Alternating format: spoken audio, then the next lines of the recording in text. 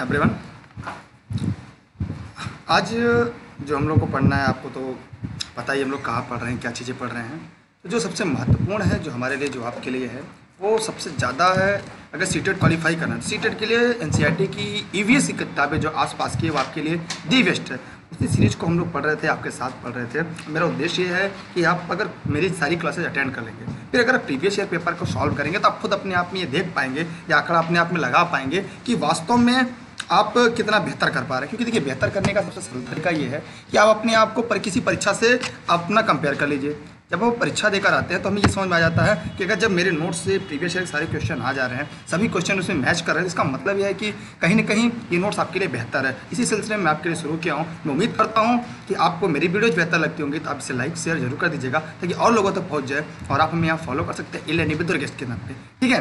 लेकिन आपको बेहतर लगे तो अन्यथा कोई बात नहीं। और बेहतर लगना लाजमी क्योंकि इतनी मेहनत करने के बाद ये नोट्स मैंने आपके लिए बनाए हैं। क्योंकि आपको तो लगता होगा नोट्स के, क्योंकि एक अच्छा तीन, चार, पाँच की मोटी मोटी ई की किताबों से इन सारे मैटर को निकालना, फिर आप तक पहुंचाना, उससे भी बड़ी बात हो जाती है अच्छा छः सात, आठ की किताबों से भी मैटर इकट्ठा करके इसमें इंक्लूड करना, इसमें जोड़ना, ये सबसे बड़ी बात होती है। इस नोट को अगर आप पूरा पेपर तैयार कर लेंगे तो मेरी ये गारंटी है कि स्टेट टेट और सी टेट के लिए आपको अन्य कहीं से नहीं पढ़ना पड़ेगा, क्योंकि आप इसको जब सॉल्व कर लेंगे पूरा, किसी ईयर का पेपर आप सॉल्व करेंगे, आपको लगेगा दुर्गेश के नोट्स में तो ये भी मिल गया।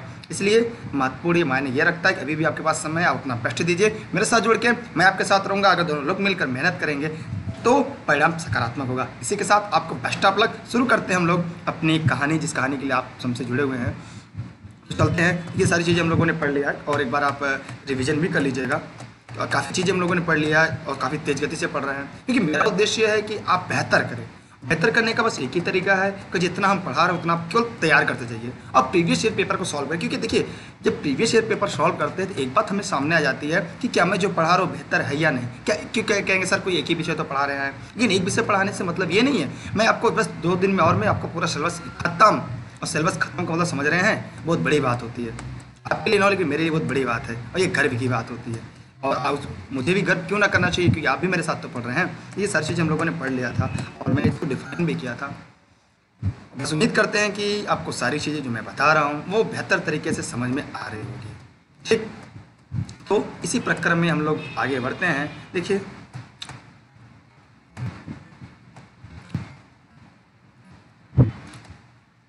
ये सारी चीज़ें देखिए, हम लोगों ने कल पढ़ लिया था। उसके आगे चलिए यहाँ से शुरू करते हैं और उम्मीद करते हैं कि आप भी हमारे साथ जुड़कर पढ़ेंगे। तो शुरू करते हैं।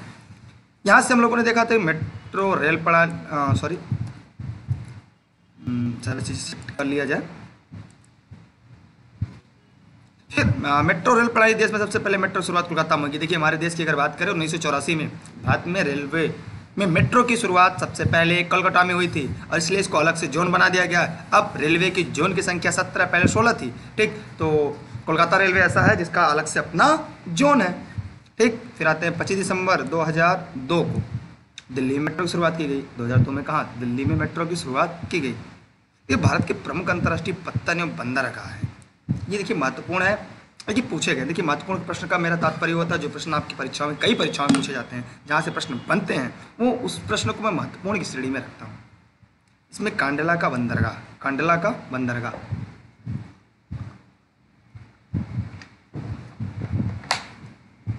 नावाशाखा मुंबई, मारमागांव, गोवा, न्यू मैंगलोर, कर्नाटक कोची केरल, तुतिकोरिन, तमिलनाडु सबसे दक्षिण में, तुतिकोरिन यहाँ तमिलनाडु का क्षेत्र यहाँ पे है तो सबसे दक्षिण हिस्सा है तमिलनाडु का। विशाखापट्टनम, आंध्र प्रदेश, पारादीप उड़ीसा हल्दिया, कोलकाता हल्दिया, कोलकाता, बस, ठीक? ये आपका हो गया। इसे आप तैयार करते रहिए नोट डाउन भी करते रहिएगा, क्योंकि ये नोट्स आपको पी डी फॉरवर्ड में मिल जाएँगे और मिले भी होंगे। नहीं मिले होंगे तो इलानी विद्रोह के आप ले लीजिएगा। आगे आते हैं। भारत में छः राष्ट्रीय जलमार्ग हैं। भारत में कितने राष्ट्रीय जलमार्ग हैं? जिनकी संख्या है छः इलाहाबाद से हल्दिया गंगा नदी पे। अभी हाल ही बना। आपने देखा होगा, मोदी जी ने उसका उद्घाटन किया था। धुबरी से सदिया ब्रह्मपुत्र नदी। कोल्लम से कोट्टायमपुरम केरल। ठीक कारीनाडा पुदुचेरी, तलचर से पारादीप, लखीमपुर से भांगा बराक नदी पे असम में। ठीक, देखिए एक, दो, तीन, चार, पाँच और ये छः। ठीक, ये छः ऐसे हैं जो भारत के छह राष्ट्रीय जलमार्ग हैं। छः के नाम आपने देख लिया। इलाहाबाद से हल्दिया, गंगा नदी, धुबरी सदिया, ब्रह्मपुत्र नदी, कोल्लम से कोट्टापुरम, केरल कानीनाडा से पुदुचेरी, तलचर से पारादीप, लखीमपुर से भांगा बाराक नदी, असम में है ये। ठीक ये छः हो गए। कोई समस्या यहाँ तक? कोई समस्या नहीं है। समस्या रह गया आप कमेंट करके बताते हो चलिएगा। बात है सबसे लंबी नौगन्य नहर मंगीम नहर। ठीक? सबसे बड़ी कृत्रिम नहर स्वेज नहर। केरल में बहुत सारी झीलें पाई जाती हैं झीलों का लगून कहते हैं। केरल में बहुत सारी झील पाई जाती हैं। इन्हें हम क्या कहते हैं? झीलों को लैगून कहते हैं। कौन सी झील हुए लैगून झील है। ठीक? केरल को लोग वलम नामक छोटी नाव का प्रयोग करते हैं और फेरी से यात्रा करते हैं। देखिए, ये इंपॉर्टेंट है। हो सकता है इस बार सीटेट में यही लाइन पूछ दे। केरल के लोग वलम नामक छोटी से नाव का प्रयोग करते हैं और फेरी से यात्रा करते हैं। फेरी से यात्रा करते हैं। ठीक? भारत में वायु परिवहन का प्रारंभ 1911 में हुआ था। भारत में वायु परिवहन का प्रारंभ 1911 में हुआ था। जब इलाहाबाद से नैनी के बीच विमान डाक सेवा की शुरुआत हुई। जब विमान डाक सेवा की शुरुआत हुई, ठीक। भारत में वायु परिवहन का राष्ट्रीयकरण 1935 में किया गया। भारत में वायु परिवहन का राष्ट्रीयकरण उन्नीस सौ तिरपन में कहा गया, किया गया। इंदिरा गांधी हवाई अड्डा, कहाँ पे है? दिल्ली। याद रखिएगा। छत्रपति शिवाजी अंतर्राष्ट्रीय हवाई अड्डा, मुंबई। सुभाष चंद्र बोस अंतर्राष्ट्रीय हवाई अड्डा कोलकाता मीना काम्बम अंतर्राष्ट्रीय हवाई अड्डा चेन्नई राजीव गांधी अंतर्राष्ट्रीय हवाई अड्डा हैदराबाद अमोसी हवाई अड्डा लखनऊ राजा सांसी हवाई अड्डा अमृतसर नितामशेरी हवाई अड्डा कोच्चि बड़ा पानी हवाई अड्डा Shillong Lokpriya Gopinath Bordoloi Guwahati Vasco da Gama हवाई अड्डा गोवा गोवा जानते रहेगा। वास्को डिगामा हवाई अड्डा गोवा कोच्चि मत लगा दीजिएगा। सबसे पहले कोच्चि आया था वास्को डिगामा तो कोच्चि लगा दे। केरल, वो नहीं लगाइएगा। वास्को डिगामा हवाई अड्डा गोवा नुआव सेवा अंतर्राष्ट्रीय पत्तन मुंबई आगे पढ़ लिए थे हम लोगों ने। अप्रैल 2015 बैंक का मुकल कहाँ था? नेपाल में, जहाँ हज़ार लोग मरे थे, कई हज़ार लोग बेघर हो गए थे। ठीक, उसका जो केंद्र था इपाई सेंटर वो कहाँ पे था? काठमांडू। भारत में भुज, गुजरात में 2011 में बैंक का भूकंप आया था इसमें काफ़ी तबाही हुई थी। सॉरी 2001 में आया था। या हज़ार एक कर लीजिएगा। 2001 में बैंकर भूकंप आया था इसमें काफ़ी तबाही हुई थी। इसे 2001 कर लीजिएगा सॉरी 2011 नहीं 2001 ठीक? पृथ्वी के अंदर जिस तरह से कंपन पैदा होता है, उसे केंद्र कहते हैं। जैसे ये पृथ्वी है, जहाँ पे सबसे पहले कंपन पैदा होता है, उसे केंद्र कहते हैं। ठीक? जहाँ सबसे पहले भूकंप, अधिकेंद्र और भूकंप मूल इसे भूकंप मूल कहते हैं जहाँ सबसे पहले होता है भूकंप केंद्र कहते हैं। इपी सेंटर और फोकस ठीक? और अच्छा पृथ्वी के अंदर जिस स्थान पर कंपन पैदा उसे केंद्र कहते हैं और केंद्र के ऊपर का भाग जहाँ सबसे पहले नुकसान होता है उसे अधिकेंद्र कहते हैं। इपी सेंटर जैसे हाँ, हाँ, ये जैसे ये पृथ्वी है पृथ्वी सही नहीं बन पा रही है ना? कोई बात नहीं। ये हमारी पृथ्वी हो गई। ठीक सबसे पहले अगर यहाँ पे भूकंप निकला, इसे फोकस करेंगे या भूकंप बोल तो इधर भी भूकंप जाती है इस तरह से फैलती है ना, यहाँ पे, जहाँ पे ये तरंगे से निकलती हैं। जहाँ पे सबसे पहले पहुँचती है, यहाँ पे, सीधे, अपने से 90 डिग्री पे। इसे हम कहते हैं ईपी सेंटर या अधिकेंद्र कहते हैं मतलब जहाँ भूकंप झटके सबसे पहले महसूस किए जाते हैं, यहाँ पे। इस क्षेत्र में ठीक ये हो गया आपका फोकस आईपी सेंटर। ठीक इसे अधिकेंद्र कहते हैं। अब आगे देखते हैं। रिएक्टर पैमाना स्केल पर। देखिए, रिएक्टर स्केल अलग होता है। रिएक्टर पैमाना, रिएक्टर स्केल। इस यंत्र से भूकंप की तीव्रता मापी जाती है। क्या नापी जाती है? तीव्रता मापी जाती है। इस यंत्र में ज़ीरो से नौ तक अंक लिखे होते हैं। और प्रत्येक अंक का मतलब है एक से दूसरे से दस गुना। दस गुना तीव्र होता है। क्या होता है? दस गुना तीव्र होता है। क्या होता है? दस गुना तीव्र होता है। भूकंप क्या होता है? प्रत्येक से दस गुना तीव्र होता है। और याद रखिएगा एक बात और, अगर अगर पूछेगा भूकंप की तीव्रता कैसे मापते हैं तो आप हमेशा लगाइएगा रिएक्टर स्केल या रिएक्टर पैमाना। लेकिन यदि पूछेगा भूकंपी तरंगे किसे मापी जाती हैं? सदो सिस्मोग्राफ लगाइएगा भूकंप विज्ञान का अध्ययन किसमें कहता है? सिस्मोलॉजी के अंतर्गत। भूकंप विज्ञान के अंतर्गत इसका अध्ययन किया जाता है। आगे आते हैं। रिएक्टर स्केल पर दो या उससे कम होता है, भूकंप को कोई प्रभाव नहीं पड़ता। देखिए, जब टू पॉइंट ज़ीरो से या उससे कम होता है तो उसे कोई प्रभाव नहीं पड़ता। और आप एक बात जानते रहेगा भूकंप हर मिनट हर सेकंड आता रहता है। हाँ बस हमें पता नहीं चल पाता। क्यों नहीं पता चल पाता, उसको भी हम बताएँ क्योंकि इतना ज़्यादा जैसे बड़ी पृथ्वी है। सबसे ज़्यादा महासागर, समुद्र है तो वहाँ पर ज़्यादा आते हैं। क्योंकि धरातल तो तीसरा परसेंट है, जलमंडल तो सत्तर परसेंट पे है। सबसे ज़्यादा कहाँ था जलमंडल पाता है, इसलिए उसका अनुभव हम कम कर पाते हैं। कोई समस्या, कोई दिक्कत, चलिए। Zero point point zero six मतलब पाँच से छः अगर होता तो चीज़ें हिलती हैं, गिरती नहीं चीज़ें क्या होती हैं? हिलती हैं, लेकिन गिरती नहीं है। छः से सात अगर एक्टर स्केल पर होता तो उसे बहुत नुकसान होता है याद रखिएगा। उससे क्या नुकसान बहुत ज़्यादा होता सात से ऊपर होता तो अत्यधिक विनाशकारी होता। देखिए, प्रत्येक अपने से दस गुना बड़ा होता है। सात है दस गुना बड़ा, सात से आठ है दस गुना बड़ा छः पाँच से छः है दस गुना बड़ा। ठीक, प्रत्येक पैमाना अपने से दस गुना बड़ा। होता है तो उसके पहले भरकेली चलती थी। फिर रिएक्टर आया अब तो सिस्मोग्राफ तरंगे है। सात उससे ऊपर होता है, उससे अत्यधिक विनाशकारी भूकंप होता है। हमें ज्ञात तो होना चाहिए कि भूकंप का अध्ययन सिस्मोलॉजी कहलाता है। हमें ज्ञात होना चाहिए, भूकंप का अध्ययन सिस्मोलॉजी कहलाता है। क्या कहलाता है? सिस्मोलॉजी कहलाता है। भूकंप के कंपन का रेखी रिकॉर्ड सिस्मोग्राफ कहलाता है। मैंने पहले बताया, भूकंप रेखी या भूकंपित तरंगों का अध्ययन किससे सिस्मोग्राफ कहलाता है? ठीक, ये जानते क्या करते हैं? ज़मीन पे क्या करते हैं ढलाई करके? यहाँ पे एक वो लकड़ी लगा देती है, उसमें एक पेन टाइप का होता है, एक लेजर होती है, नीचे से पेज चलता रहता है, इस पर लाइट पड़ती रहती है। जब ये सीधी चलती है, मैंने कोई कंपन नहीं है, ठीक? जब हिलता है पृथ्वी में कंपन होता है तो हिलता है तो जो किरणें क्या होती है, इस तरह से, इसी तरह बनती हैं। इससे पता चल जाता है कि भूकंप की आ रही है कि उसकी तो क्या है, ठीक है? इसी से पता चल जाता है तो वही इसी तरह होता है। सिस्मोग्राफ। ठीक कॉन्सेप्ट क्लियर है तक? फिर मैंने बताया, भूकंप विज्ञान के अंदर कहा गया था सिस्मोलॉजी भूकंप विज्ञान सिस्मोलॉजी के अंतर्गत कहा जाता है। भूकंप का अध्ययन किसके अंदर किया जाता है? सिस्मोलॉजी ठीक। ज्वालामुखी पृथ्वी की सतह पर खुला छिद्र होता है। ज्वालामुखी पृथ्वी की सतह पर खुला छिद्र होता है। क्या होता है? खुला छिद्र होता है। जिसमें पिघला हुआ पदार्थ, मैग्मा, बाहर निकलता है। जिससे तब खुला क्षेत्र होता है, जिसमें पिघला हुआ मैग्मा बाहर निकलता देखिए, जलों की क्या है पृथ्वी की जो सतह होती है, उस पर एक खुला क्षेत्र होता है। इसमें पिघला हुआ पदार्थ मैग्मा के रूप में क्या निकलता है बाहर? अच्छा एक होता है मैग्मा, एक होता है लावा। इस बात को बता दें। मैं इस बात को वीडियो को लास्ट में बताऊँगा। अगर आप वीडियो देख रहे हैं, इस बात ज़रूर बताइएगा कि क्या मैग्मा लावा में कोई अंतर होता है? होता है तो क्या? नहीं होता है तो क्या? ठीक? तो आप हम उम्मीद करते हैं कि हम इसका जवाब ज़रूर देंगे कि मैग्मा और लावा में क्या अंतर होता है। ठीक? कोई समस्या?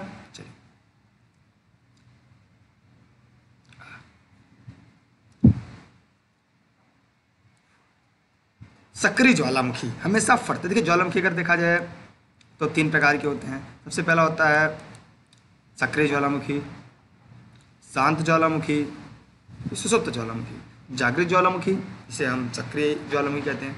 जागृत, शांत सुषुप्त तो शांत सक्रिय ज्वालामुखी ऐसा कहा इसमें एक बार अगर लावा का उद्गार हो जाए, देखिए लावा क्या होता है अच्छा बता ही देते हैं आपको जब जैसे ये पृथ्वी के अंदर, पृथ्वी के अंदर जैसे, यहाँ पे उत्तप्त मैग्मा है।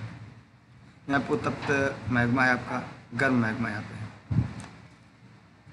ठीक यहाँ पे क्या है, गर्म मैग्मा है। ये क्रस्ट को तोड़कर बाहर यहाँ पे जब रहता है तो मैग्मा के रूप में रहता है। इसको तोड़कर बाहर की तरफ़ निकल जाता है। उसे हम क्या कहते हैं? लावा कहते हैं। मान इसमें अशुद्धियाँ मिल जैसे अपने स्थान पर रहता है तो शुद्ध रहता है। जैसे ऊपरी तरफ़ चलता है, इसमें अशुद्धियाँ मिल जाती हैं। इसका नाम बदल के मैग्मा से लावा हो जाता है। ठीक हमने क्या देखा? सक्रिय ज्वालामुखी से हमेशा पढ़ते रहते हैं। उसमें सक्रिय जल में क्या था सदैव लावा का उद्गार होता रहता है।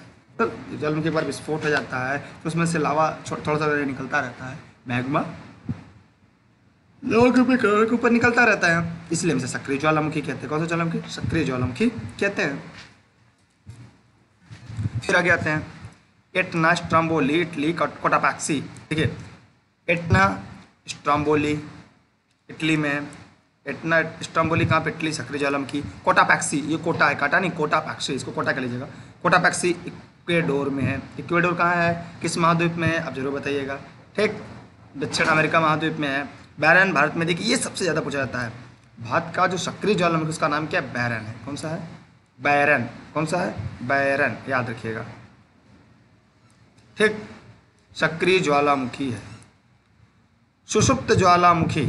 बहुत समय से फटे नहीं परंतु उसके फटने की संभावना होती है। सुसुप्त मतलब जैसे एक बार लावा का उद्गार हो जाए, फिर उसकी नली क्या होती है? जाम हो जाती है। नली जाम हो जाने के बाद क्या होता है? लावा का उद्गार नहीं हो पाता। ठीक, फिर अचानक कोई प्रेशर बनता है तो फिर अचानक विस्फोट होता है, फिर लावा बाहर आने लगता है। तो इसे हम क्या कहते हैं? सुसुप्त ज्वालामुखी कहते हैं। मतलब कि अचानक से गुस्सा शांत हो जाए किसी का। मतलब एक बार ज्वालामुखी उद्गार हो गया।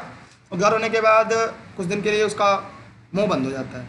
फिर अचानक से कुछ दिन बाद, फिर उद्गार हो जाता है। फिर जलम करने लगता है फिर बंद हो जाता है। दस से बीस वर्ष से चालीस, पचास वर्ष, सौ, दो सौ दो सौ वर्ष, ये कभी लंबा समय भी हो सकता है। मैंने ऐसा ज्वालामुखी जो एक बार विस्फोट करने के बाद दोबारा उद्गार होने की संभावना कभी भी हो सकती है या होती है, ऐसे प्रकार के सुसुप्त ज्वालामुखी कहते हैं। क्या कहते हैं? सुसुप्त ज्वालामुखी कहते हैं।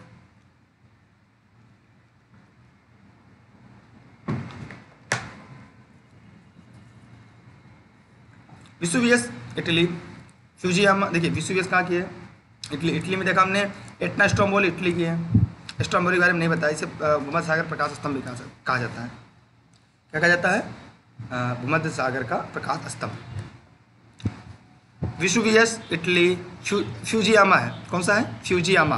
फ्यूजियामा कहाँ है? जापान में। ध्यान दीजिएगा, फ्यूजियामा जापान में। और ये क्या सुसुप्त ज्वालामुखी सुसुप्त का मतलब एक बार उद्गार होता है, लावा कुछ वर्षों के लिए शांत हो जाता है, फिर उसकी जो नली जो होता है, फिर खोलते फिर कुछ दिन बाद उद्गार होता है। इस प्रकार के ज्वालामुखी को हम ज्वाला कहते हैं। तो विश्ववियस इटली देख लिया आपने इटली इटली में काफ़ी ज़्यादा क्यों है? वो आगे हम लोग कभी पढ़ेंगे डिटेल में।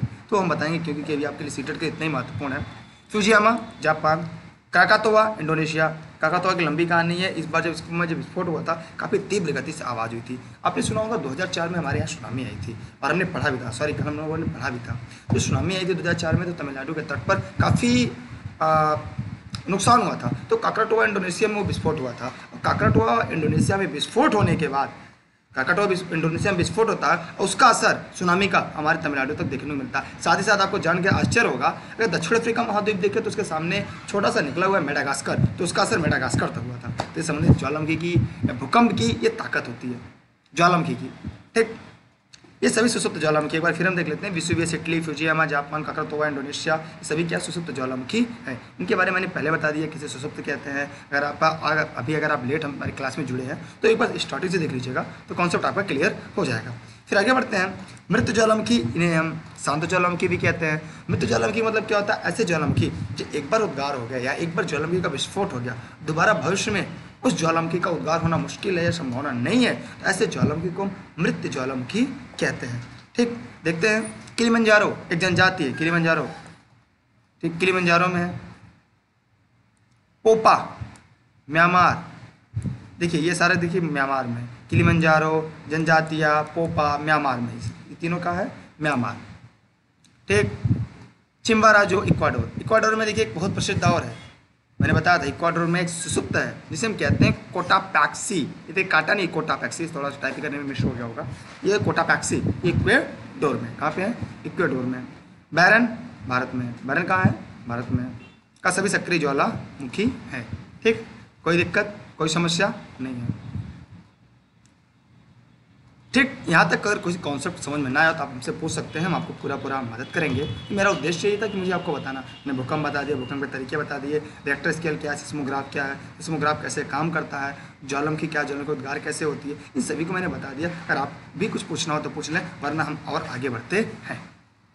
जो, ज्वालम की अगर हम पढ़ रहे तो ज्वालम की कुछ चीज़ों को कुछ कॉन्सेप्ट हम लोग और पढ़ लेते हैं। शायद हम लोग के और आपके लिए दोनों के लिए महत्वपूर्ण हो जाए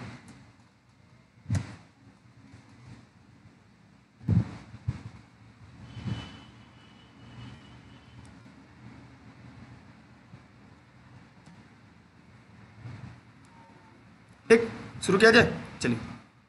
देखिए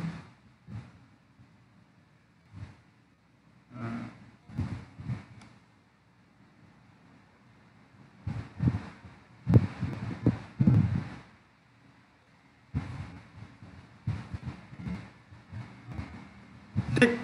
देखिए, ये हम बना रहे हैं ज्वालामुखी। ठीक है आप लोग सारे कॉन्सेप्ट समझ में आ जाएँगे क्या मैं क्या बना रहा हूँ।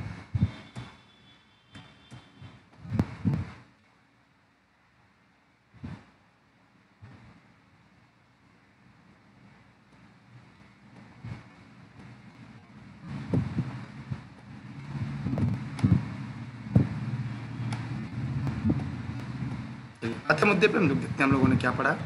कुछ चीज़ों को आज हम लोग समझने का भी प्रयास करते हैं। ठीक है, सबसे पहले देखते हैं, ये देख रहे हैं, ये ज्वालामुखी ये ज्वालामुखी से शंकु कहते हैं। क्या कहते हैं इसे? ये होता है ज्वालामुखी शंकु। ठीक, ये नीचे जो जमा है, ये उत्तप्त मैग्मा है। इसे क्या कहते हैं? मैग्मा। ठीक, मैग्मा इस, क्या है? इस नली से ऊपर आ रहा है। ठीक, इसे क्या कहते हैं? ज्वालामुखी नली। इसे क्या कहते हैं? ज्वालामुखी नली कहते हैं, जहाँ से ज्वालामुखी विस्फोट होता है। इसे क्रेटर या बीवर कहते हैं। क्या कहते हैं? इस क्षेत्र को क्रेटर या बीवर कहते हैं। हम्म, ध्यान दीजिएगा इस क्षेत्र को क्या कहते हैं? क्रेटर या वीवर कहते हैं। क्या कहते हैं? क्रेटर या वीवर कहते हैं। जहाँ से ज्वालामुखी का लावा का दिख रहे हैं उद्गार हो रहा है। देख रहे हैं ढाल की तरफ़ बह रहा है। क्या देख रहे हैं ढाल की तरफ़ इधर बह रहा है इधर ढाल की तरफ़ इधर बह रहा है। इसी क्रेटर में जब कभी ज्वालामुखी का लगातार उद्गार होता रहता है, एक बार ज्वालामुखी विस्फोट होने के बाद लगातार इसमें से लावा निकलता रहता है तो इस प्रकार की ज्वालामुखी क्या कहते हैं सक्रिय ज्वालामुखी कहते हैं। क्या कहते हैं? सक्रिय ज्वालामुखी कहते हैं। सक्रिय ज्वालामुखी से एक बार उद्गार होने के बाद इसमें से लगातार हमेशा लावा निकलता रहता है। एक प्रश्न आपसे पूछ लेते हैं, उसका जवाब देते रहिएगा। आगे हमने पढ़ाया भी था भारत का सक्रिय ज्वालामुखी कौन सा है? ठीक है? दूसरा हम लोगों ने पढ़ा था सुसुप्त ज्वालामुखी। मैंने ऐसा ज्वालामुखी एक बार इसके उद्गार हो जाए लावा, फिर ये नली क्या होती बंद हो जाती है। नली क्या होती है? बंद हो जाती है। कुछ दिनों के बाद पुनः यहाँ से प्रेशर पड़ता है और नली फिर खुल जाती है, फिर लावा का उद्गार होने लगता है। ये दो वर्ष, चार वर्ष, दस वर्ष, बीस, सौ, दो सौ वर्ष, ये कई साल, कई हज़ार वर्ष, कभी भी अगर एक बार लावा उद्गार होने के बाद ये दोबारा भविष्य में उद्गार होने की संभावना होती है, उसे सुसुप्त ज्वालामुखी कहते हैं। जैसे हम लोगों ने पढ़ा, शांत ज्वालामुखी, मैंने एक बार किसी स्थान पर क्या हुआ, ज्वालामुखी का उद्गार हुआ, यहाँ पे देख रहे हैं ना? स्थान को तोड़कर लावा, उत्तप्त लावा आया, मैग्मा बाहर आया। ठीक बाहर आने के बाद तरफ़ दोनों तरफ़ दिशा में फैल गया और फैलने के बाद दोनों समय जब ये लावा फैल गया तो फैलने के बाद एक नया कंडीशन उत्पन्न हुआ। वो कंडीशन क्या था पता है आपको? एक तरल लावा होता है फिर देखेंगे यहाँ से जो एक प्रश्न पूछा जाता है, यदि लावा ज्वालामुखी का विस्फोट होता है, सबसे ज़्यादा क्या निकलता है? सबसे ज़्यादा धूल कण निकलते हैं, फिर जलवास से निकलते हैं, फिर उसके बाद क्या निकलता है? मैग्मा। सबसे ज़्यादा पूरे वायुमंडल में धूल, कण जलवास पूरा छा जाते हैं। ठीक है? अब यही क्रेटर में कभी कभी ज्वालामुखी जब बंद हो जाती है या एक बार ज्वालामुखी का विस्फोट होने के बाद, यहाँ पे दोबारा विस्फोट नहीं होता तो यहाँ पे क्या होता है, ये जम जाता है। इस छिद्र में काफ़ी दिन से पानी जमा होता है तो पानी जमने के बाद क्या बन जाती है? झील। इसे कहते हैं क्रेटर झील। क्रेटर झील की विशेषता होती है कि इस झील में नहाए, अगर कोई व्यक्ति नहा लेता है, उसका चर्म रोग ठीक हो जाता है, क्योंकि उसमें गंधक तुतिया की मात्रा पाई जाती है। क्या पाई जाती है? गंधक तुतिया की मात्रा पाई जाती है। कौन सी मात्रा? गंधक तुतिया की मात्रा पाई जाती है। ठीक? कोई समस्या? कोई समस्या नहीं है ना? तो यहाँ पे क्रेटर जेल बनता है, इसे वीवर कहते हैं क्रेटर और बड़ा हो जाता है कालडेरा कहते हैं, ठीक? क्रेटर बड़ा हो जाता है, उसे क्या कहते हैं? कालडेरा कहते हैं। फिर यहाँ कभी कभी यहाँ से नली निकलने लगती है, इसे उप नली कहते हैं, ठीक? है उप वीवर होता है, यहाँ पे उप क्रेटर है, उप कालडेरा होता है। एक बड़े कालडेरा के अंदर कई क्रेटर होते हैं, जिन्हें हम घोसला कहते हैं काल्डेरा घोसला ठीक? क्रेटर घोसला बहुत सारी चीज़ें होती है, लेकिन इतना आपको नहीं पढ़ना है, ठीक? आगे बढ़ा जाए, अगर आपको सभी टर्म समझ में आ गए होंगे तो। अच्छा इन्हीं के जमने से आग्नेय सेल का निर्माण भी होता है। इन्हीं के जम जाने से कौन साल बनता है? आग्नेय सेल बनता है। ठीक? कोई समस्या किसी को? कोई समस्या नहीं है ना? चलो, आगे आते हैं।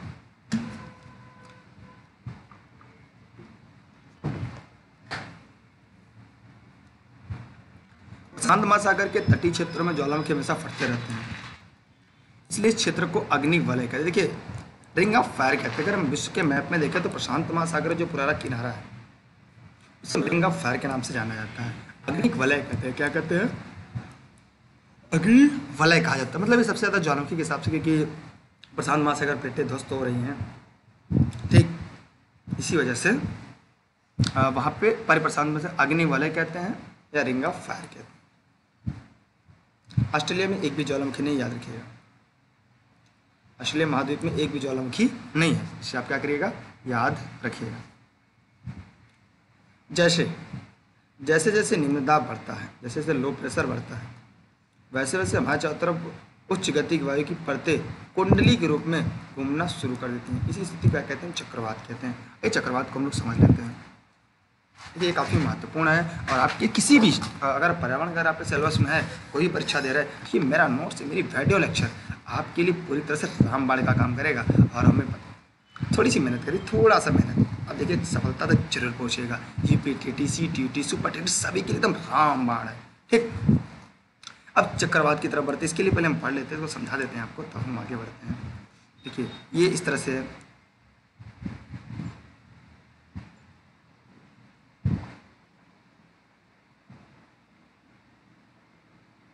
ठीक, यहाँ बीच में होता है लो प्रेशर यहाँ पे होता है हाई प्रेशर ठीक हवा हमेशा किधर से किधर जाती है?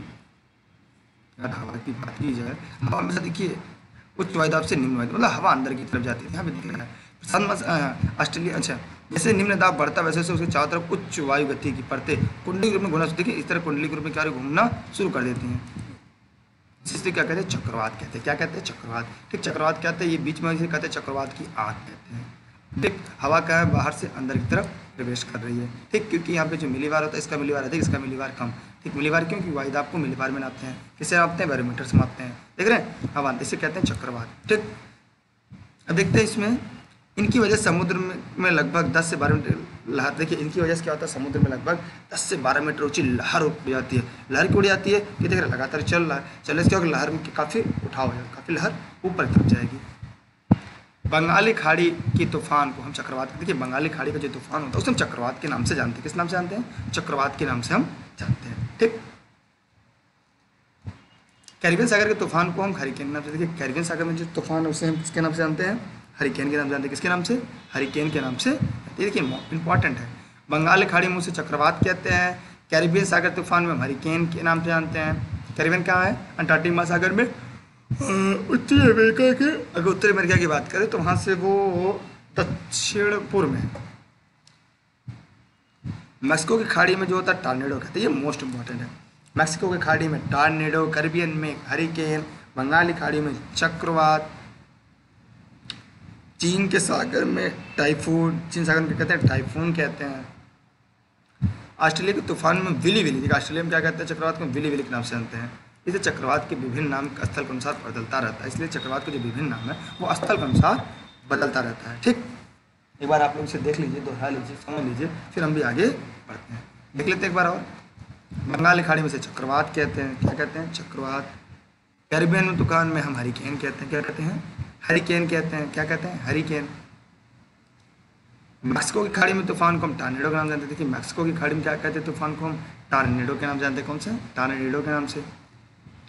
चीन सागर में तूफ़ान को हम टाइफून कहते हैं, चीन सागर में क्या कहते हैं? टाइफून कहते हैं। ऑस्ट्रेलिया के तूफ़ान को हम विली विली के नाम जानते हैं। किससे नाम जानते हैं? विली विली के नाम जानते हैं। इस चक्रवात का नाम विभिन्न स्थलों पे उनके अनुसार बदलता रहता है। यहाँ तक अगर कोई चीज़ आपको समझ में ना आई हो तो पूछ सकते हैं। चक्रवात से संबंधित, ताकि मैं आपको बताऊँ और आपकी मैं मदद कर सकूँ। कोई दिक्कत?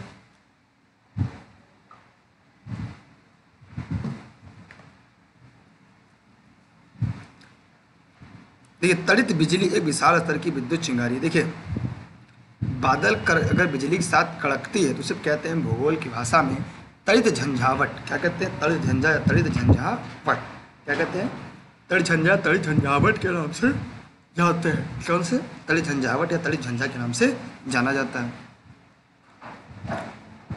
प्राकृतिक संतुलन को बनाए रखने के लिए पृथ्वी के तैंतीस परसेंट भाग पर देखिए, पृथ्वी का जो प्राकृतिक संतुलन अगर बढ़ाने के लिए मैदानी क्षेत्र में तैंतीस परसेंट और पहाड़ी क्षेत्रों में छाछठ परसेंट वन होना चाहिए। कितना? तैंतीस और छाछठ परसेंट वन होना चाहिए। लेकिन भारत में समस्त भूमि का मात्र तेईस प्रतिशत वनाच्छादित है। मात्र कितना? तेईस परसेंट हिस्सा वनाच्छादित है। कितना? तेईस परसेंट हिस्सा वनाच्छादित है। ठीक? अन्य कोई समस्या हो तो बताइए। कोई समस्या नहीं ना? आगे बढ़े। फिर हम आगे आते हैं। उष्णकटिबंधी सदाबहार वन ये भूमध्य रेखा के पास पाए जाते हैं। उष्णकटिबंधी सदाबहार वन ये वन भूमध्य रेखा के पास पाए जाते हैं। ठीक पाँच डिग्री ऊपर पाँच डिग्री नीचे कहीं दस डिग्री ऊपर दस डिग्री नीचे देता है। ये वन कहाँ पाए जाते हैं? भूमध्य रेखा के पास। अब इसे सदाबहार क्यों कहते हैं? क्योंकि ये सदा हरे भरे मतलब पूरे वर्ष ये हरे भरे रहते हैं। इसलिए सदाबहार वन के नाम से इन्हें जानते हैं।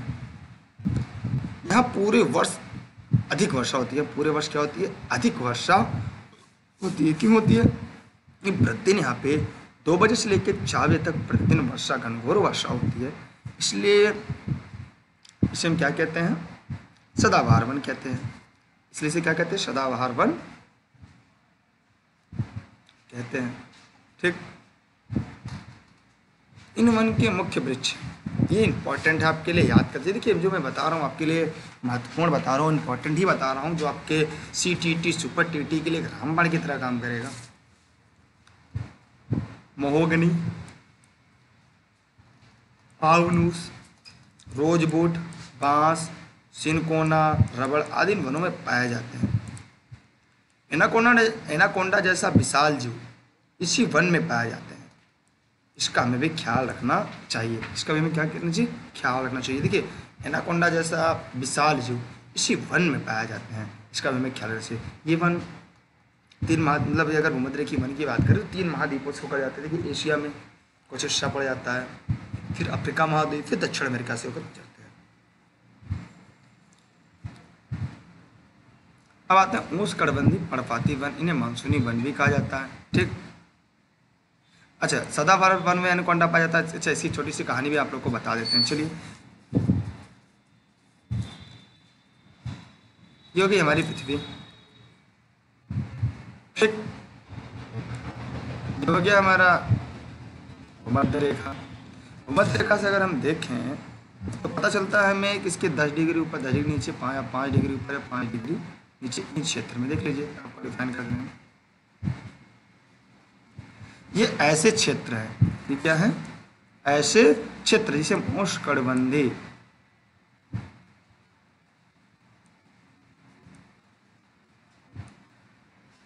सदाबहार वन के नाम से अब प्रश्न उठते हैं सदाबहार वन क्यों कहते हैं? भी जान लीजिए, इन्हें हम। सदाबहार वन के नाम से हम क्यों जानते हैं? देखिए, ऐसा कारण है इसे हम सदाबहार वन के नाम से जानते हैं। क्योंकि सबसे बड़ा लॉजिक इसका ये है, क्योंकि यहाँ पे देखिए दो बजे से चार बजे तक प्रतिदिन घनघोर वर्षा होती है। जैसे दो बजे से लेकर चार बजे तक घनघोर वर्षा होगी तो कल्पना करें यहाँ का माहौल है मानसून कैसा होगा। आप देखिए अगर एक महीने की बारिश में देखते हैं कि बहुत सारे जीव जंतु नए नए तरह के नए नए तरीके के पेड़ नए नए तरीके के, अभी टिड्डा भी देख लीजिए, जब हमारे बरसात होती है, छोटा टिड्डा, बड़ा टिड्डा, बड़ी टांग वाला टिड्डा छोटी टांग वाला टिड्डा, काला टिड्डा नीला टिड्डा, सफ़ेद टिड्डा, कई प्रकार टिड्डा की कई प्रजातियाँ और कई प्रकार के नए नए घास की प्रजाति। मतलब पंद्रह दिन की बारिश में हम देखते हैं चारों तरफ़, घर के चारों तरफ़ तक दीवारों में घास उग जाते हैं। जहाँ प्रतिदिन दो बजे से लेकर चार बजे तक घनघोर वर्षा होगी, वहाँ क्या होगा? वहाँ पे ढेर सारे वनस्पति होंगी। वनस्पति साल भर हरी रहेंगी। हरी भरी रहेंगी हरी भरी क्यों रहेंगी? क्योंकि डेली वर्षा होती है। और यहाँ पे दलदली क्षेत्र होगा। जब डेली वर्षा होगी तो क्षेत्र दलदली हो जाता है। तो इसमें क्या होता है? वृक्षों में इसमें काफ़ी प्रतिस्पर्धा होती है। स्पर्धा की होती है, एक दूसरे से ऊपर या दूसरे से बड़े होने के लिए। ये देखिए सबको जल की उपलब्धता हो जाती है। अब अगला इनको जीवित रहने के लिए सर्वाइव करने के लिए सूर्य का प्रकाश चाहिए। इसके लिए क्या करते हैं? एक दूसरे से ये लोग स्पर्धा करते हैं। जब प्रतिस्पर्धा करते हैं तो पहले ये ऊपर, फिर वो ऊपर, फिर वो ऊपर, फिर इस तरह से लगातार प्रतिस्पर्धा में होती रहती है। इस प्रतिस्पर्धा होने की वजह से, इसी प्रतिस्पर्धा होने की वजह से इन सभी वनों में, इन सभी वनों में क्या होता है? जो ये वन होते हैं, सदाबहार जो वन पाए जाते हैं, ये काफ़ी लंबे लंबे होते हैं। मतलब विश्व के सबसे घने जंगल यहीं पे होते हैं। और उसमें जो वृक्ष होते हैं, प्रमुख रूप से महोगनी आबनूस रोजबूट, बाज सिनकोना रबड़ आदि। अब देखिए, एक सिनकोना होता है सिनकोना आपने नाम सुना होगा। सिनकोना विश्व की जो छाल होती है, उससे मलेरिया की दवा बनती है कुनैन। सिनकोना वृक्ष की छाल से मलेरिया की दवा बनती है कुनैन। ये भी कहाँ मिलता है? यह इन्हीं वनों में मिलता है। इस वन की सबसे बड़ी विशेषता है वृक्ष लंबन अच्छा ये इतना घना होता है कि इसमें हाथी जैसा जानवर भी घुसने से डरता है। इस जंगल में एनाकोंडा जैसा सांप मिलता है। ये भारत ये भारत में भी उस गणवीय क्षेत्र तो नहीं है कुछ हिस्सा आपका आ जाता है। अगर हम थोड़ा सा देखें, अगर हम तो थोड़ा सा तमिलनाडु के साथ थोड़ा बहुत पड़ जाता है कितना डिग्री लेंगे तब। और आपका निकोबार, अंडमान निकोबार है तो निकोबार का हिस्सा कुछ पड़ जाता है। और इंडोनेशिया, जावा, सुमत्रा, इंडोनेशिया, ये पड़ जाता है आपका फिर इधर आते हैं तो अफ्रीका महाद्वीप में कई कंट्री हैं, फिर दक्षिणी अमेरिका महाद्वीप में वहाँ कई कंट्री है। इसलिए जब ज़्यादा वर्षा होगी, प्रतिदिन वर्षा होगी तो जैव विविधता भी मिलेगी। क्या मिलेगी?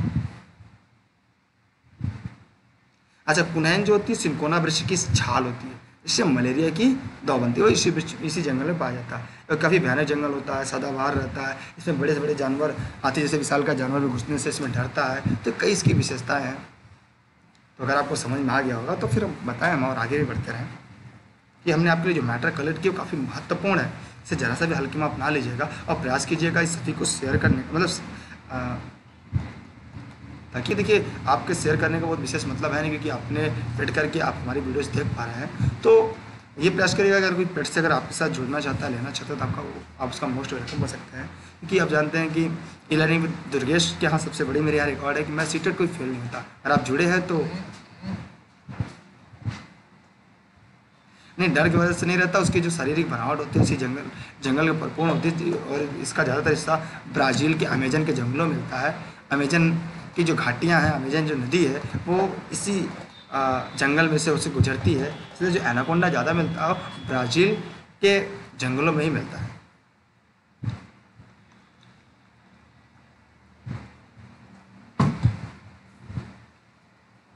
ठीक। समझ में आ गया? अगर आप आगे कहें तो आगे हम लोग बने इसको नोट करते चलिएगा समझते चलिएगा। इस तरह हम आपको डिफाइन करते चले शायद ही कोई एजुकेटर इस तरह से आपको डिफाइन करता होगा। ठीक है? चलिए फिर देखते हैं हम लोग आगे। आ, इस वन में जानवर। यहाँ पे आते हैं हम लोग। उस कड़बंदी पड़पाती फन पड़पाती वन इसके थोड़ा सा ऊपर पाते हैं पड़पाती हो जाते हैं, क्योंकि वहाँ पे मानसूनी जलवायु होती है, वर्षा मौसम के अनुसार होती है, इसलिए साल में एक बार ही होता है, क्या करते हैं, अपने पत्ते गिरा देते हैं। इसलिए इन्हें पड़पाती उस कड़बंदी पड़पाती वन या मानसूनी वन, देखिए आगे, मानसूनी वन नहीं कहते हैं, क्योंकि मौसम या मानसून के अनुसार ये पत्ते अपने गिराते रहते हैं, इसलिए इन्हें मानसूनी वन की भी संज्ञा दी जाती है। ठीक है, ये भारत की उत्तरी ऑस्ट्रेलिया, मध्य अफ्रीका में पाए जाते हैं, भारत के उत्तरी ऑस्ट्रेलिया और मध्य अमेरिका में पाए जाते हैं। ठीक। इस वृक्ष इस वन के वृक्ष शुष्क मौसम से अपनी रक्षा करने के लिए अपनी पत्तियाँ गिरा देते देखिए, इस वन के जो वृक्ष होते हैं, शुष्क मौसम से अपनी रक्षा करने के लिए अपनी पत्तियाँ क्या करते हैं? गिरा देते हैं। इसलिए इन्हें पर्णपाती वन कहते हैं। इसलिए क्या कहते हैं इन्हें? पर्णपाती वन कहते हैं। क्या कहते हैं? पर्णपाती वन कहते हैं। फिर आगे आते हैं। इस वन के जानवर, हाथी, शेर, बाघ, गोल्डन लंगूर आदि। ठीक, ये इस वन के मुख्य शुष्क मौसम से अपनी रक्षा करने के लिए पत्तियाँ गिरा देते हैं, इसलिए इन्हें क्या कहते हैं? पर्णपाती वन कहते हैं, मैंने ये अपना पत्ते क्या कहते हैं? गिरा देते हैं। इस वन के जो जानवर है, वो हाथी, शेर, बाघ, गोल्डन लंगूर आदि हैं। इस वन के जो मुख्य वृक्ष वो महत्वपूर्ण है। ये वृक्ष क्या हमारे यहाँ मिलते हैं? तो जो आपके यहाँ, मैंने इंडिया में जो वृक्ष मिलते हैं, ज़्यादातर अमूमन मैदानी क्षेत्रों में, उन्हीं वृक्षों के नाम आप आसानी से बता सकते हैं। शाल, शीशम, सागौन, बाँस, आम, चंदन, नीम आदि। ठीक, ये सभी क्या है? मुस्कड़बंदी पर्णपाती वन के प्रमुख वृक्ष हैं। कोई अगर समस्या आपको लग रही है तो बताएँ, हम आपको समस्या का निजात करते हुए भी आपके साथ चलें। शीतोष्ण, सदाबहार वन, ये वन दक्षिण पूर्व अमेरिका, दक्षिण चीन और दक्षिण ब्राज़ील में पाए जाते हैं। शीतोष्ण सदाबहार वन, ये वन दक्षिण पूर्व अमेरिका, दक्षिण चीन और ब्रा, दक्षिण ब्राज़ील में पाए जाते हैं। इन वनों के मुख्य वृक्ष बाँस, चीड़ और यूकेलिप्टस प्रमुख हैं। अब देखिए हमने क्या देखा? शीतोष कड़िबन माने जहाँ पे ठंडक हो ये वन दक्षिण पूर्व अमेरिका, दक्षिण चीन और दक्षिणी ब्राज़ील में पाए जाते हैं। इन वनों के मुख्य रूप से बाँस, चीड़ यूकेलिप्टस प्रमुख शीतोष पर्वती वन ये वन उत्तर पूर्वी अमेरिका, देखिए एक होता शीतोष सदाबार वन, ये सदाबार रहते हैं। और अच्छा यूकेलिप्टस को जानते रहिएगा, इसे पर्यावरण का शत्रु भी कहते हैं, पर्यावरण का आतंकवादी भी इसे कहते हैं।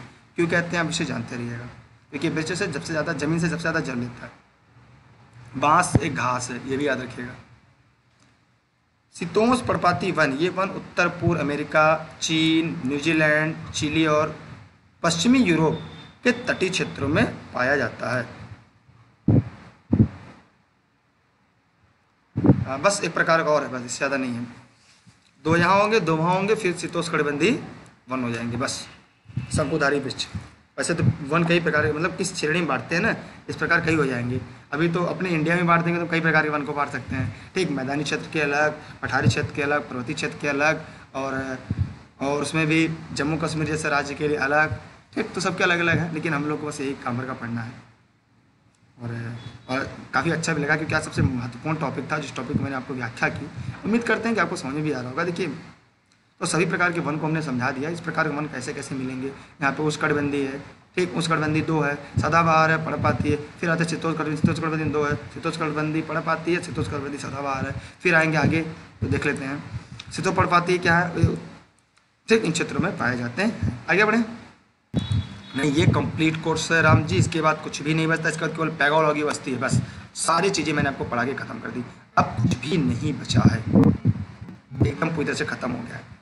अब कोई भी चीज़ नहीं बची। मैंने पूरा आपको पढ़ाई खत्म कर दिया। कोई भी चीज़ें मैंने छोड़ा ही नहीं आपके लिए। क्योंकि बस मेरा उद्देश्य है आप बेहतर करेंगे और आप बेहतर ज़रूर करेंगे। ठीक है? हमने क्या देखा? शीतोष पर्वतीय वन, ये वन उत्तर पूर्व अमेरिका, चीन, न्यूजीलैंड, चिली, पश्चिम यूरोप, तटीय क्षेत्रों में पाई जाती है। आगे आते, आगे देखा, इस वन की भी अपनी, देखिए पड़पाती है तो अपने वन, पत्ते, देखिए पड़पाती माने पत्ते, देखिए, दो वन है। एक जगह सदाबहार मिलेगी पड़पाती सदाबहार पड़पाती सदाबहार माने वर्ष भर हरे भरे पड़पाती माने जो पत्ते साल में एक बार अपने पत्ते गिरा लेते हैं। इस वन के मुख्य वृक्ष हैं। इस वन के मुख्य वृक्ष है एस वृक्ष एस बीज देखिए, आदि। देखिए, सबसे बड़ी बात है, बहुत सारे एजुकेटर आपको पढ़ाते हैं, आपने पढ़ते भी होंगे। लेकिन ये मेरा ऐसा स्पेशलिस्ट सब्जेक्ट है पर्यावरण कि तक रिकॉर्ड है कि जिन्होंने मेरा पर्यावरण पढ़ा है, वो हाल हाल में तीस में अट्ठाईस कर कर आए हैं। तो बस इसीलिए मैं ज़्यादा बहकाता नहीं, टॉपिक टू टॉपिक चलता हूँ। साथ ही साथ सबसे बड़ी बात यह मैं अकॉर्डिंग टू सिलेबस चलता हूँ। जितना आयोग सिलेबस देता है और वह जिस किताब सिलेबस देता है, उसी के आधार पर मैं, ये जो मैं पूरा आपको पढ़ा रहा हूँ नोट्स आप उठा के देख लीजिएगा, कक्षा तीन, चार, पाँच छः सात, आठ, इन किताबों के एन सी हु मैंने शब्द उठाए हैं और यहाँ पर पेस्ट कर दिए हैं।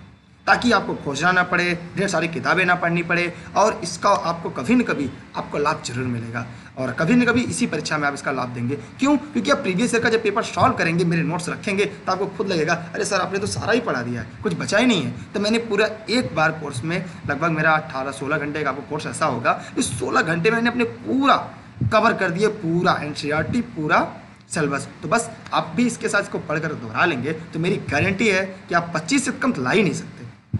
फिर वैसे तो ये मेरे लिए कहना घमंड की बात है, लेकिन आप ज़्यादा कहेंगे तो ज़्यादा बेहतर और अच्छा लगेगा। फिजमेंट और मोनाल जैसे पक्षी और हिरण, लोमड़ी भेड़िया आदि जानवर भी पाए जाते हैं। अच्छा एक छोटा सा बात हम लोग पूछना है आपसे। आपने बहुत सारे एजुकेटरों को पढ़ा है और लगातार पढ़ते भी आ रहे हैं और लोग मुझसे बेहतर पढ़ाते हैं नो डाउट लेकिन क्या ऐसा लगता है कि क्या मैं उनसे डिफरेंट कुछ हूँ अलग या मैं कुछ उससे अलग पढ़ाता हूँ? अब आगे आते हम लोग, फिजमेंट और मोनाल जैसे पक्षी, हिरण, लोमड़ी भेड़िया आदि जानवर पाए जाते हैं। फिर आगे बढ़ते हैं हम लोग। भूमध सागरी वन। देखिए भूमध सागरी वन एक अलग से वन है। ये भूमध सागर का आपको पता है? किसी को पता है इसमें बताएँ भूमध सागर कहाँ में? भूमध सागर कहाँ है, बताइए। ठीक है तो फिर हमने क्या देखा ये भूमध सागरी जो वन वनस्पति है, ये कहाँ पे है? ये वनस्पति यूरोप, अफ्रीका एशिया मोहम्मद सागर बीजे से हम आपको बता दें। देखिए ये इस तरह से अफ्रीका महाद्वीप का क्षेत्र है। ऊपर से यहाँ पे क्या है? आपका एशिया महाद्वीप है, छोटा सा निकला हुआ हिस्सा यहाँ पे है। ये ये ये भाग जो है आपका एशिया महाद्वीप है। ये एशिया महाद्वीप का हिस्सा है, ये यूरोप महाद्वीप है और ये अफ्रीका महाद्वीप है। इन दो महाद्वीपों का अलग कौन करता है? ये भूमध सागर। ये ये भूमध सागर है। ठीक, ये भूमध सागर है आपका। आते हैं हम लोग अपने मुद्दे पे। तो भूमध सागरी वन वनस्पति यूरोप, अफ्रीका एशिया भूमध सागर वाले क्षेत्र में पाए जाते हैं। ठीक यह क्षेत्र नींबू, फल, संतरा, जैतून, अजीन अंजीर के लिए प्रसिद्ध है। याद रखिएगा, यह क्षेत्र है नींबू न में बड़ी की मात्रा होगी सॉरी फल, संतरा, जैतून, अंजीर के लिए काफ़ी प्रसिद्ध है। इस क्षेत्र को विशेष फलोद्यान कहते हैं। इस क्षेत्र को विशेष फलोद्यान कहते हैं। इसे क्या कहते हैं? विशेष फलोद्यान कहते हैं। इसका हमें ध्यान रखना चाहिए। इसका भी हमें क्या रखना चाहिए? ध्यान रखना चाहिए। शंकुधारी वन टैगा वन कहा जाता है। ये पहाड़ी क्षेत्रों में पाए जाते हैं। शंकुधारी वन इन्हें टैगा कहा जाता है। ये पहाड़ी क्षेत्र पाए मोस्ट इंपॉर्टेंट जो शंकुधारी वृक्ष होते, देखिए, इस तरह से वृक्ष होते हैं, शंकुधारी। ठीक? ये कहाँ पाए जाते हैं? टाइगर क्षेत्र में पाए जाते हैं। शंकुधारी क्यों होती? क्योंकि ताकि बर्फ़ गिरे। इनमें रुकने ना पाए। रुक जाएगा तो टूट जाएगा, डालना। इसलिए यहाँ के जो वन होते हैं, शंकुधारी होते हैं। ठीक? इन्हें टैगा कहा जाता है। याद रखिएगा टैगा वन कहा जाता है। इस वन के वृक्ष नरम होते हैं तथा अखबारी कागज़, माचिस और पैकिंग के लिए बक्से बनाने के काम आते ठीक याद रखिएगा, इस वन के वृक्ष नरम होते हैं तथा अखबारी कागज़, माचिस और पैकिंग के लिए बक्से बनाने का काम याद रखिएगा, ये जो शंकुधारी वन होते हैं टेंगा वन कहते हैं, पहाड़ी क्षेत्रों में पाए जाते हैं, इस वन के वृक्ष काफ़ी नरम, मुलायम होते हैं। अगर मुलायम नहीं होंगे तो भैया बर्फबारी होगी, पता क्या होगी, पेड़ के तरह अपने आप फट जाएँगे। इसलिए बहुत मुलायम होती हैं। अखबारी कागज़ और कागज़ के लिए यहाँ से आती है, माचिस की तिली, माचिस की पैकिंग, यहीं से बनती है। इस वन के मुख्य वृक्ष चीड़, देवदार, स्प्रश और पर पाए जाते हैं। ये याद, देखिए, इसके उदाहरण भी याद रखिएगा आप लोग। इस वन के मुख्य जानवर धुरी, भालवी, रजत, लुमड़ी, मिंक आदि हैं। कटीली झाड़ियाँ, ये वन रेगिस्तान और महाद्वीपों में पाई जाती हैं। कटीली झाड़ियाँ कहाँ हैं? ये वन रेगिस्तान और महाद्वीपों में पाई जाती हैं। फिर आगे देखते हैं। इस क्षेत्र में बबूल, कीकर क्रैक्टस और खजूर जैसे वन पाए जाते हैं। सांप, बिच्छू आदि भी पाए जाते हैं। इस क्षेत्र में बबूल, कीकर क्रैक्टस खजूर जैसे वन पाए जाते हैं। सांप, बिच्छू आदि, याद रखिएगा इस क्षेत्र में। बबूल, कीकर क्रैक्टस कौन से? भैया जी कटीली झाड़ियाँ, ये वन रेगिस्तान महाद्वीपों में पाए जाते हैं। अब रेगिस्तानी, अगर रेगिस्तानी वृक्ष है, उसकी बताएँ, अगर रेगिस्तानी वृक्ष की क्या क्या विशेषता होगी? अरे भैया जी, उस वृक्ष की पहली बात, जड़ें लंबी होंगी। जड़ क्यों लंबी होंगी? जल की तलाश में उसकी जड़ें काफ़ी गहराई तक जाती हैं। और पत्ते होंगे नहीं, अगर होंगे तो छोटे होंगे, ताकि सर्जन कम से कम होने पाए। क्लोरोफिल की मात्रा सर्जन रोकने के लिए जैसे नागफनी, क्रैक्टस देख लीजिएगा। खजूर बबूल होते, पत्ते छोटे होते होते उसमें कांटे होती हैं। ठीक? इस क्षेत्र में बबूल की कर क्रैक्टस दिया है। खजूर जैसे वन पाए जाते हैं। सांप, बिच्छू भी यहाँ पाए जाते हैं। भारत में वाइल्ड लाइफ एक्ट उन्नीस सौ बहत्तर पारित किया गया। हमें इसकी जानकारी होनी चाहिए कि वाइल्ड लाइफ एक्ट जो है, कब पारित किया गया? उन्नीस सौ बहत्तर में पारित किया गया है। ठीक? कोई समस्या यहाँ तक यहाँ तक कोई समस्या दोबारा पूछ लेंगे, तब हम और आगे बढ़ेंगे। देखिए, मेरा उद्देश्य क्या है? आपको समझाते हुए आगे बढ़ना। मैं बेहतर पढ़ाता हूँ, ये बात तब तक होगा जब तक आप बेहतर कर कर नहीं आएँगे। तो उम्मीद करते हैं कि आप बेहतर करिए, तब हम आगे बढ़ पाएँगे। और ये बस एक दो वीडियो के बाद पूरा कोर्स कंप्लीट है। पूरी तरह से कंप्लीटेड कोर्स है ये। शंकुमन रिपीट कर दे रहे कि शंकुमन देखिए, कुछ चीज़ें ऐसी होती हैं, जो चीज़ आप अपने आप से स्वविवेक से लगा सकते हैं। अब जैसे ऐसे ब्रश वृक्ष जहाँ पे अगर प्रतिदिन बर्फबारी, हिमपात हो, वहाँ के वृक्ष कैसे होने चाहिए? अगर हमारे तरह नीम की तरह वृक्ष होंगे तो क्या होगा? ऐसे वृक्ष होंगे, यहाँ पे बर्फ़ गिरेगी, वज़न पड़ेगा, ये टूट जाएगा। या तो तने में क्या होगा? जो रेशे होते हैं, जब बर्फ़ टेम्परेचर डाउन होगा तो तने अपने आप फट जाएँगे। तने क्या होनी चाहिए? मुलायम होनी चाहिए। लकड़ी कैसी होगी? मुलायम, ताकि वो हटने ना पाए। दूसरा, वो शंकुधारी होंगे इस तरह से, ताकि बर्फ़ गिरे, ऊपर ना रुकने पाए, सीधा नीचे फिसल जाए। तो इस प्रकार के वन को शंकुधारी वन कहते हैं। ठीक? अब कोई समस्या हो बताएँ। अब अगला प्रश्न हो रहा है, किस क्षेत्र में हिमपात या बर्फबारी ज़्यादा होती है? इसके दो कारण हैं। पहला, हम अगर हम आ, दोनों गोलार्धों में साढ़े तीस के ऊपर साढ़े तीस के नीचे जाते हैं शीतोष्ण क्षेत्र मिलता है और उसी क्षेत्र में उसके दो कारण जो जो ऊंचाई पर जाते हैं। जैसे हमारे यहाँ हिमालय की वजह से हिमालय क्षेत्र पर अगर आप जाते हैं तो वहाँ पे हिमरेखा सबसे नज़दीक इसलिए हिमपात ज़्यादा हो जाता है। फिर अगर हम और ऊपर जाएँगे और ऊपर जाएँगे छठ डिग्री के ऊपर जाएँगे जैसे साइबेरियन क्षेत्र में रशिया का है दक्षिण अफ्रीका महाद्वीप का दक्षिण में दक्षिण ध्रुव के साइड में इन सब क्षेत्र में ऐसे वन पाए जाते या तो काफ़ी ऊंचाई पर हो, जहाँ बर्फबारी ज़्यादा हो क्योंकि जो जो ऊंचाई पर जाते हैं, तापमान कम होता जाता है। एक समय ऐसा आता है, जहाँ पर तापमान ज़ीरो हो जाता है, उसे कहते हैं हिमांग। हिमांग कहते हैं, उस रेखा को मिलाने वाली बिंदु को हिमरेखा कहते हैं। ठीक? आप कोई समस्या? आप बेहतर पूछ सकते हैं। मैं आपको पूरी संतुष्ट करूँगा। क्योंकि मेरा उद्देश्य हो सकता है एक आध वीडियो जब कॉल मिले उसके बाद ये सिलेबस पूरी तरह से कंप्लीट फिर अगले विषय पर लगेंगे, वो भी आपको सब जल्दी खत्म कर देंगे। आप ये सोच भी नहीं पाएँगे कि क्या इतनी जल्दी जल्दी सब्जेक्ट खत्म हो जा सकते हैं। जी हाँ ज़रूर हो सकते हैं। बस पढ़ाने वाला चाहिए और पढ़ने वाला आप जैसा चाहिए। ठीक? आप मेरे साथ मिलकर इतनी मेहनत करते हैं नो डाउट आप सफल ज़रूर होंगे। ठीक है? आगे बढ़ें। अब हम आते हैं अब राष्ट्रीय पार्क वन्य जीव अभ्यारण्य को पढ़ लेते हैं। ये भी आपके परीक्षा दृष्टिकोण से काफ़ी महत्वपूर्ण है।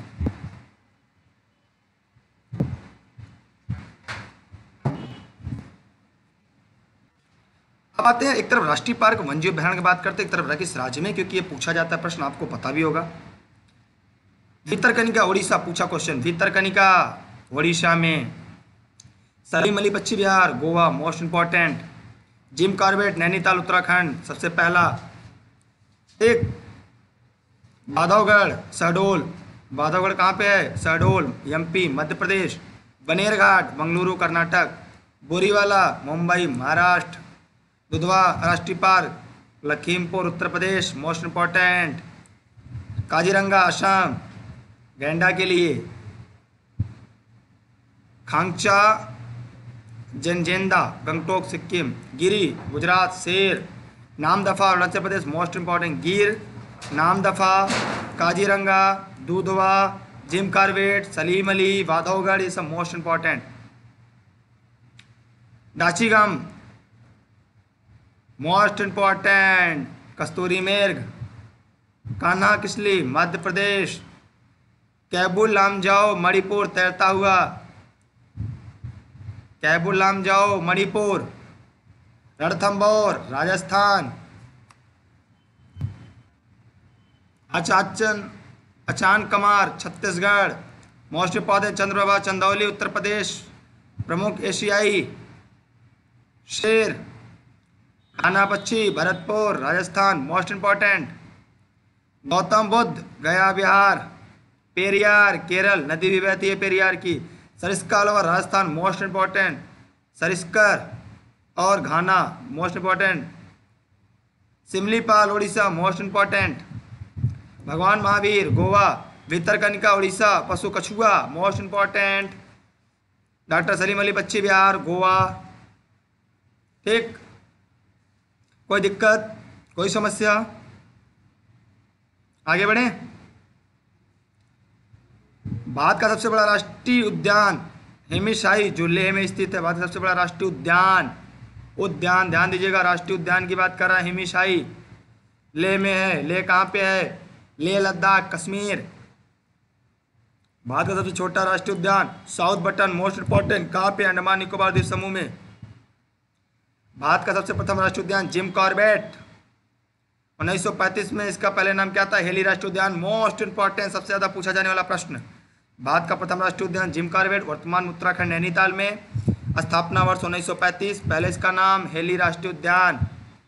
केबुल लामजाओ विश्व का एकमात्र तैरता हुआ राष्ट्रीय पार्क, मणिपुर। यहाँ तक अगर कोई दिक्कत हो तो आप पहले पूछ लीजिएगा, हम आपका जवाब दे लेंगे, तब आगे बढ़ेंगे। वरना हम आगे नहीं बढ़ पाएँगे।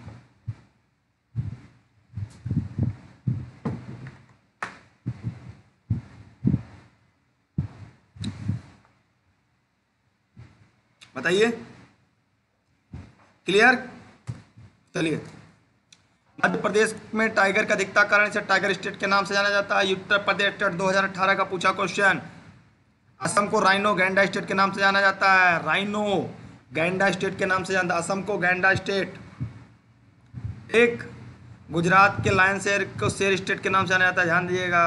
एक tiger state MP lion state शेर state Gujarat lion safari project शेर की शुरुआत उन्नीस सौ बहत्तर में मोस्ट इंपॉर्टेंट प्रोजेक्ट शेर की शुरुआत अठारह सौ बहत्तर में की गई।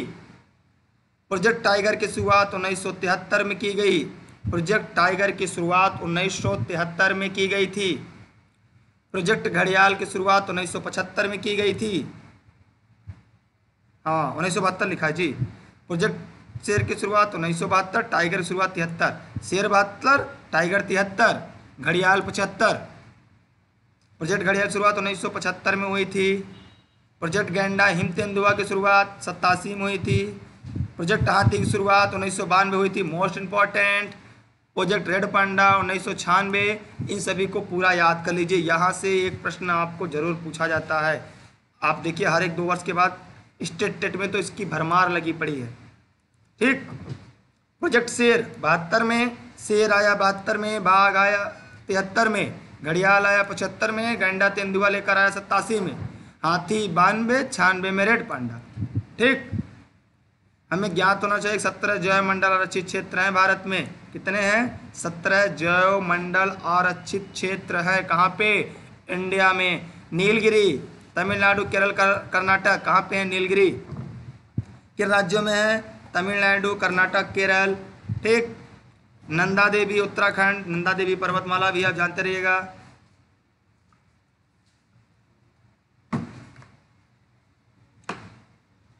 नोक्रेक मेघालय, सुंदरवन विश्व का सबसे बड़ा डेल्टा वन। इसे कहाँ पे है? पश्चिम बंगाल। मन्नार की खाड़ी, तमिलनाडु। ग्रेट निकोबार, अंडमान निकोबार द्वीप समूह। मानरा, असम। शिमलीपाल उड़ीसा दिहांग दिहांग अरुणाचल प्रदेश। ये दिहांग किसका नदी का नाम है? किस नदी का नाम दिहांग है? बताइए, किस नदी को दिहांग नदी कहते हैं? यूपी टी टी दो हज़ार सत्रह का पूछा क्वेश्चन यदि आपको लगता है कि पर्यावरण क्लासेज आज बहुत बेहतर चल रही हैं और खासकर आपके परीक्षा के दृष्टिकोण से तो आप अपने सभी साथियों को जोड़ दीजिए, जो भी अभी तक नहीं जोड़ पाए हों।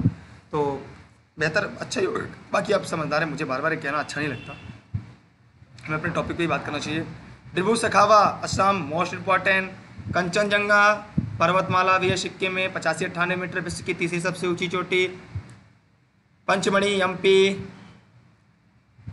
अचान, कमार, कर्ना, अमरकंटक एमपी अर, अस्थामलाई, केरल कचकरण ज्ञान भारती, गुजरात कचकरण ज्ञान भारती, जानते हैं गुजरात में है।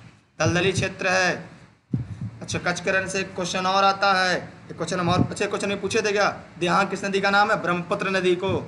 जब ब्रह्मपुत्र नदी भारत में प्रवेश करती है तो देहांग घाट से प्रवेश करती है, उसका नाम हो जाता है अरुणाचल प्रदेश में देहांग नदी। और ये ब्रह्मपुत्र जो है, जब चाइना में रहती तीन आधिपत्य क्षेत्र में, तब उसको नाम है सांगपो। कचकरण। जंगली गधा अभ्यारण कहाँ पे है? जंगली गधा अभ्यारण कहाँ पे है? बताइएगा तब तक आगे बढ़ते हैं हम लोग। शीत मरुस्थल, हिमाचल प्रदेश। शीत मरुस्थल, हिमाचल प्रदेश। शेषाचलम पहाड़ी, आंध्र प्रदेश। शेषाचलम पहाड़ी, आंध्र प्रदेश। शेषाचलम पहाड़ी, आंध्र प्रदेश। सबसे पहला जैव मंडल आरक्षित क्षेत्र, नीलगिरी। सबसे पहला जैव मंडल आरक्षित क्षेत्र क्या है? नीलगिरी। सबसे पहला जैव मंडल आरक्षित क्षेत्र क्या है? नीलगिरी। नीलगिरी कहाँ पे है? नीलगिरी कहाँ पे है? मैंने पढ़ाया है, उत्तर आप जवाब कमेंट बॉक्स में दीजिएगा। नीलगिरी कहाँ पे है? जैव मंडल आरक्षित क्षेत्र। सबसे पहला जैव मंडल आरक्षित क्षेत्र भी है। सबसे बड़ा जैव मंडल आरक्षित क्षेत्र मन्नार की खाड़ी। मन्नार खाड़ी कहाँ पे है? जैव मंडल आरक्षित क्षेत्र मन्नार खाड़ी भारत के किस राज्य में है? इसका भी जवाब, इसका भी जवाब दीजिएगा। ठीक। और ये आपके लिए सी टेट के लिए मोस्ट इंपॉर्टेंट क्योंकि अकॉर्डिंग टू एन है। एन बेस्ड है, इसलिए आपको पूरा इसको याद रख लीजिएगा। जैसा हमने आपको बताया है, मैंने दो क्वेश्चन आपसे पूछा है। सबसे बड़ा जैव मंडल आरक्षित क्षेत्र मन्नार खाड़ी किस राज्य में है? तमिलनाडु। सबसे बड़ा जैव मंडल आरक्षित क्षेत्र नीलगिरी, तमिलनाडु, केरल और कर्नाटक। आगे आते हैं। भारत का सबसे छोटा आरक्षित क्षेत्र डिब्रू सिखोवा कहाँ पे है? डिब्रू सिखोवा, सखोवा, डब्रू सखोवा किस राज्य में है? असम। भारत में सबसे ज़्यादा जीव जंतु बायोडाइवर्सिटी शांत घाटी केरल पाई जाती है, ये भी प्रश्न पूछा जा चुका है। शांत घाटी किस राज्य में है? Silent valley. कहाँ पे है? केरल में, मसालों का शहर। केरल को कहते हैं, विश्व में, भारत में सबसे ज़्यादा बायोडाइवर्सिटी किस राज्य में है? केरल में है। ठीक। कोई समस्या यहाँ तक? कोई समस्या हो तब पूछ सकते हैं। रेड डाटा बुक जिसमें विश्व के सभी संकटपन्न जीव जंतुओं का रिकॉर्ड रखा जाता है। इस बुक में गुलाबी पृष्ठ होते हैं, हमें इसका ख्याल रखना चाहिए। इस बुक में क्या, कौन से पृष्ठ होते हैं? गुलाबी पृष्ठ होते हैं। ठीक, कैसे पृष्ठ होते हैं? गुलाबी पृष्ठ होते हैं। यह पुस्तक आई सी एन प्राकृतिक संरक्षण के लिए अंतर्राष्ट्रीय संघ द्वारा जारी की जाती है। ठीक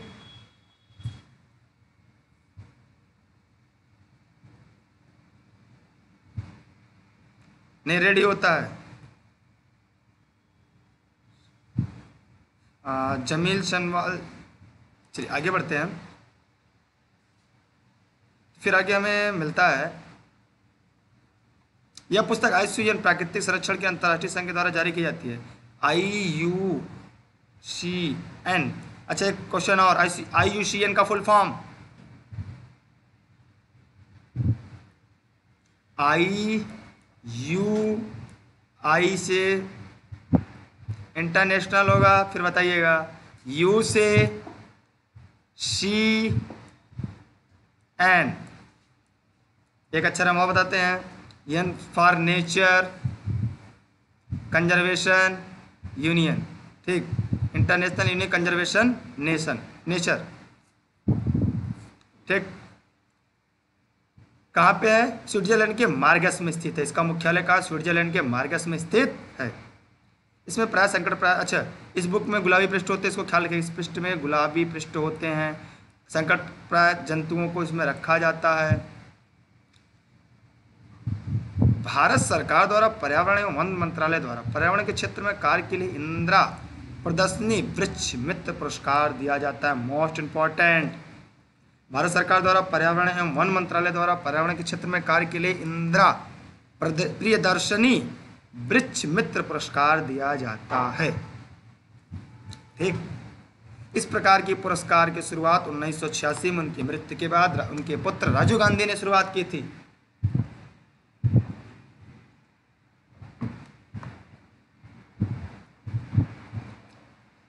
सर्दियों के मौसम में साइबेरियन क्रेन सारस भारत में मेहमान बनकर राजस्थान के पश्चिम बिहार घाना में रुकते हैं। ठीक।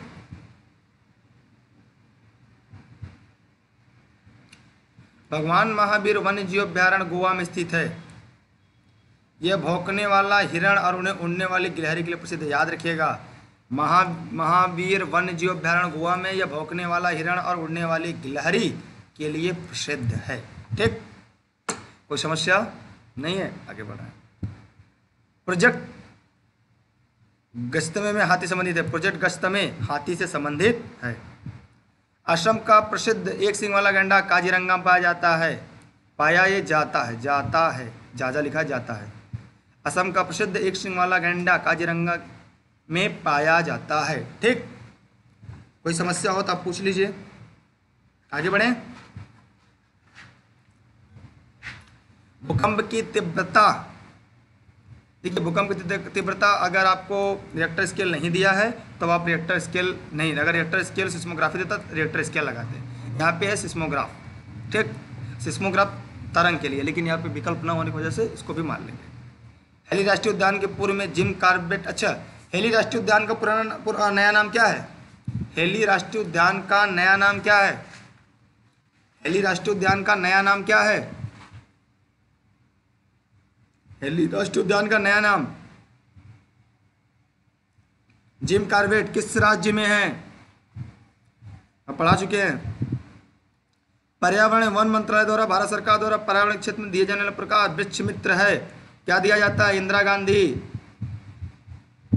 प्रियदर्शनी, वृक्ष मित्र पुरस्कार, जिसकी शुरुआत उन्नीस सौ छियासी में उनके पुत्र राजीव गांधी द्वारा की गई थी। यह यह पर्यावरण वन मंत्रालय द्वारा, भारत सरकार द्वारा पर्यावरण क्षेत्र में दिया जाने वाला पुरस्कार है। तमिलनाडु राज्य में गल्फ ऑफ़ मन्नार मैरीन राष्ट्रीय पार्क स्थित है। Most important U N D P U N D P इसका फुल फॉर्म कमेंट बॉक्स में बताइएगा। तब इसके बारे में हम बताएँगे। ये वन्य जीव संरक्षण के प्रति समर्पित है। ये वन्य जीवन संरक्षण के प्रति समर्पित है।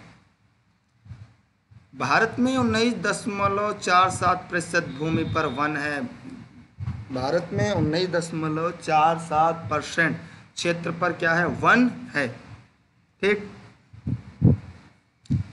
वनों के महत्व कारण प्रमुख ग्रीन गोल्ड है। वनों के महत्व में प्रमुख ग्रीन गोल्ड है। ठीक?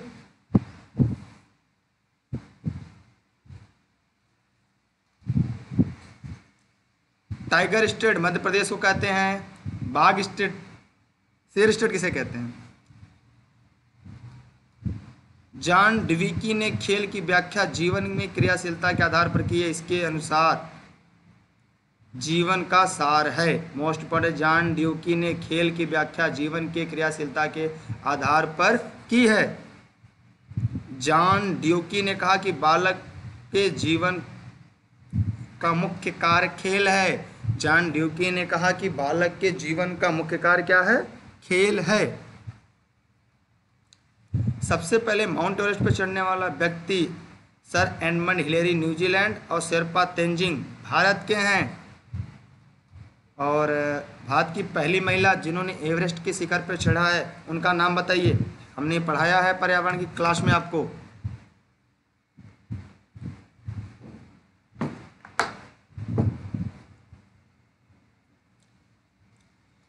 जुनको जबेही, जापान की पहली महिला 1975 में सागर माथा पहुँची। हिमालय को नेपाल में सागर माथा के नाम से जाना जाता है।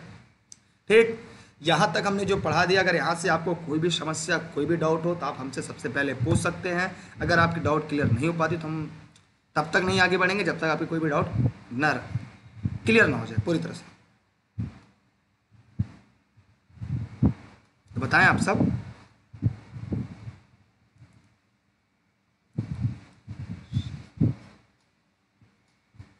कोई दिक्कत नहीं, आगे बढ़ें। चलिए, फिर आगे आते हैं। महिला का नाम बताइए, बछेंद्री पाल हैं।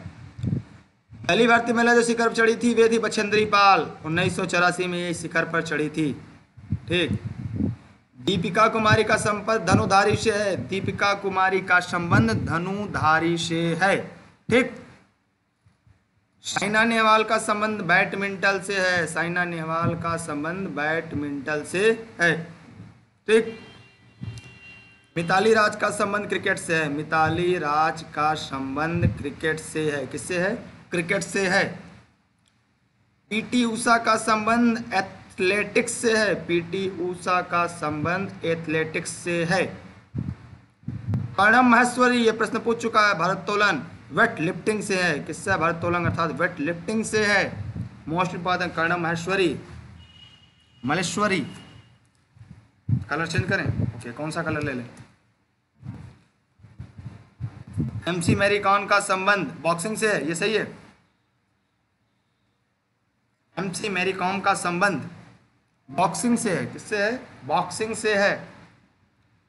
गीता पोको का संबंध कुश्ती से है। डाली सिंह का संबंध कबड्डी से है। अंजलि भगवान का निशानेबाजी संबंध है। यह प्रश्न पूछ चुका है, कृष्ण पुनिया का संबंध डिस्कस थ्रो से है। ऋतु रानी हॉकी से संबंध रखती हैं। दीपा कर्माकर जिम्नास्टिक से ताल्लुक़ रखती हैं, पूछ चुका दीपा कर्माकर जिम्नास्टिक से ताल्लुक़ रखती हैं जो सन चिनप्पा स्वैक्स ताल्लुक़ रखती है, स्वैक्स से। ठीक?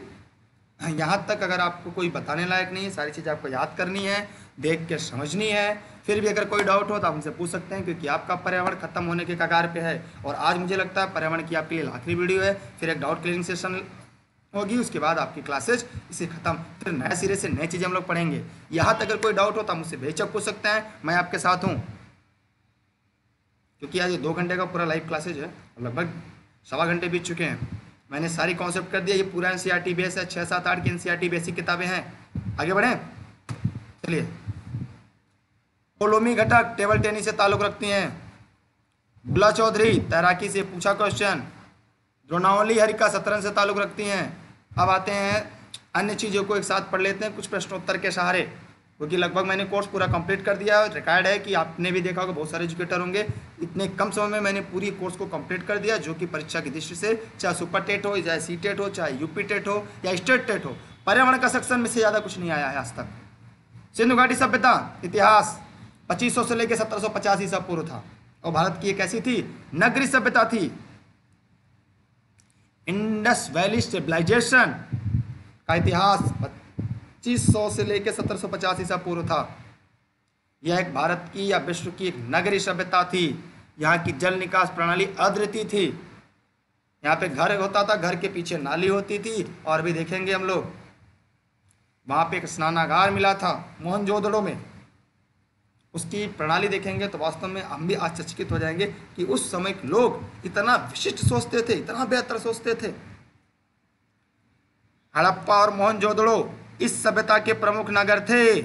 हड़प्पा और मोहनजोदड़ो इस सभ्यता के प्रमुख नगर थे। हाँ। अन्नागार ही मिले, स्नानागार और अन्नागार दोनों, जी। लोथड़ इस सभ्यता का प्रमुख बंदरगाह था। लोथड़ सिंधु घाटी सभ्यता का एक प्रमुख बंदरगाह था। दयाराम सानी ने हड़प्पा सभ्यता की खोज उन्नीस सौ इक्कीस में किया था। राखल दास बनर्जी द्वारा सिंधु घाटी सभ्यता के स्थल मोहनजोदड़ो की खोज 1922 में की गई थी। ठीक कब की गई थी? 1922 में की गई थी। बृहद स्नानागार मोहनजोदड़ो का सर्वाधिक महत्वपूर्ण स्थल है। बृहद स्नानागार मोहनजोदड़ो का बृहद सर्वाधिक महत्वपूर्ण स्थल है, जो मैंने कुछ देर पहले बताया। चहुंदड़ो एकमात्र पुरातत्व स्थल है, जहाँ से वक्राकार ईटे मिली। अन्यथा अन्य जगह दो अनुपात, चार अनुपात छः के अनुपात में ईटे मिली थी।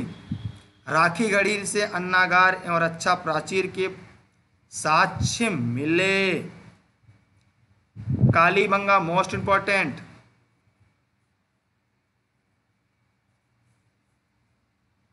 कालीबंगा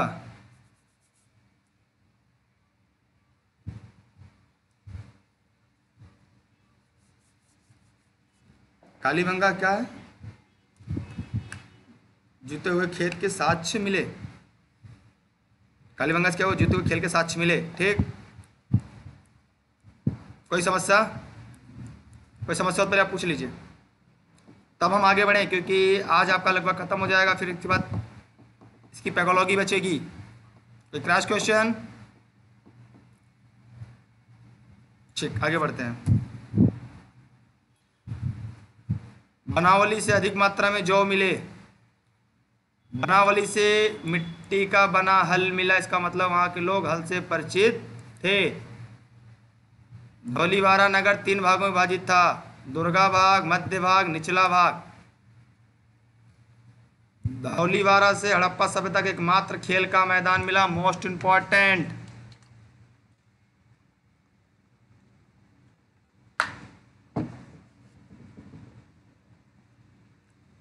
हड़प्पा सभ्यता में माप की दशमलव प्रणाली तथा माप तौल की इकाई 16 के गुणक में थी। कितने की? 16 के गुणक में थी। वैदिक सभ्यता या आर्यों की सभ्यता थी। यह मुख्यतः ग्रामीण सभ्यता थी। वैदिक सभ्यता या आर्यों की सभ्यता थी, यह मुख्यतः एक ग्रामीण सभ्यता थी। कैसी सभ्यता थी? मुख्यतः यह एक ग्रामीण सभ्यता थी। अभिलेखों के अध्ययन को एपिग्राफी कहा जाता है। अभिलेखों के अध्ययन को एपिग्राफी कहा जाता है। वेदों की संख्या चार है। वेदों की संख्या चार है। ऋग्वेद सबसे प्राचीन वेद माना जाता है। इसमें कुल दस मंडल, एक हज़ार अट्ठाईस सूक्त, दस हज़ार पाँच सौ अस्सी ऋचाएँ हैं।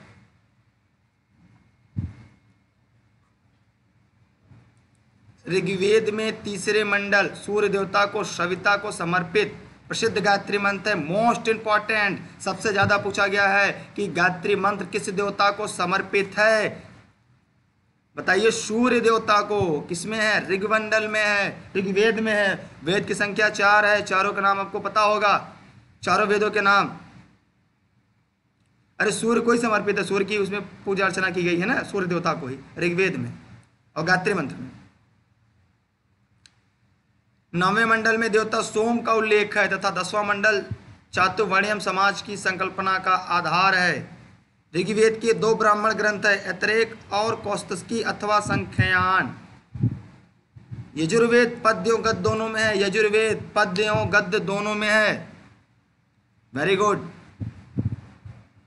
इसमें यज्ञों के नियम और विधाओं का संकलन है। इसमें यज्ञों के नियम और विधाओं का क्या है? संकलन है। सामवेद इसमें मंत्रों का संग्रह है।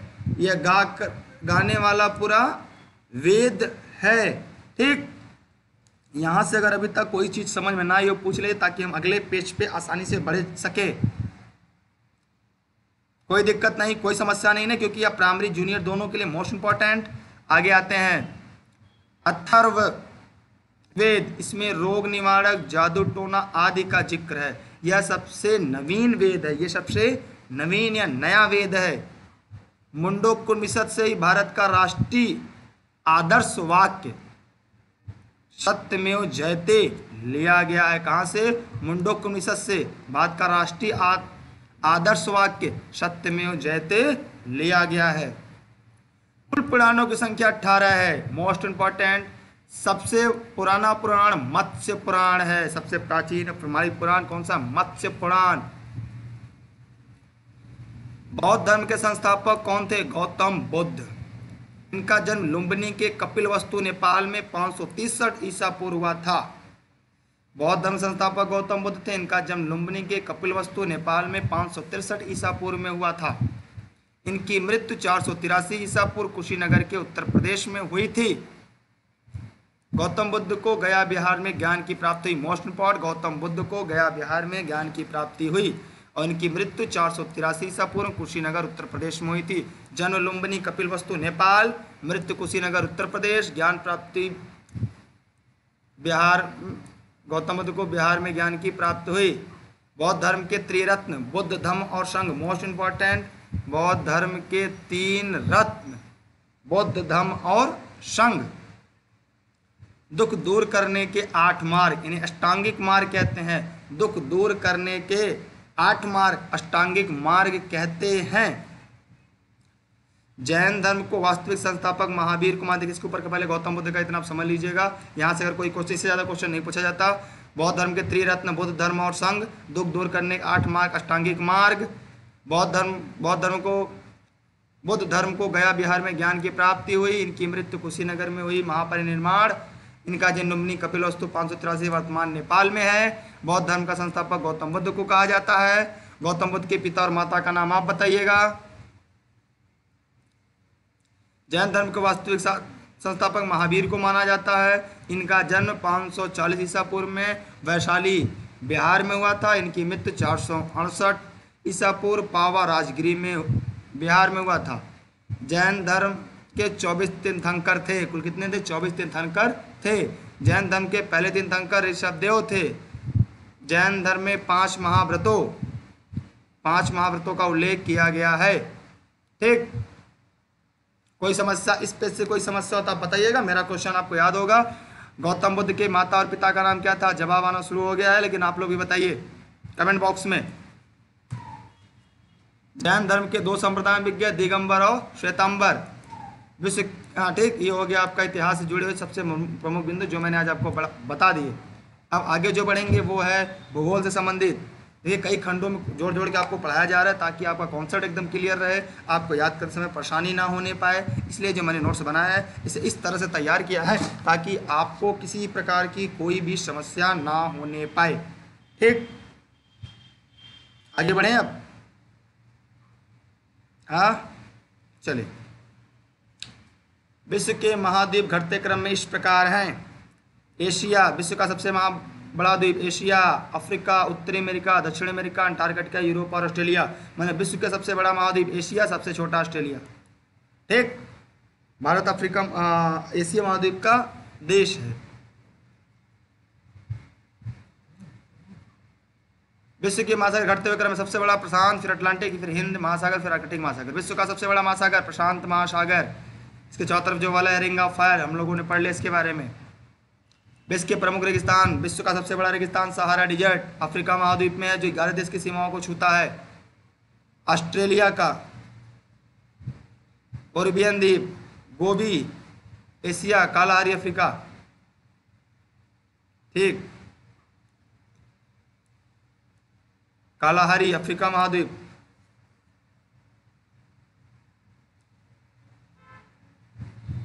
गोभी एशिया में, गोभी मरुस्थल कहाँ पे है?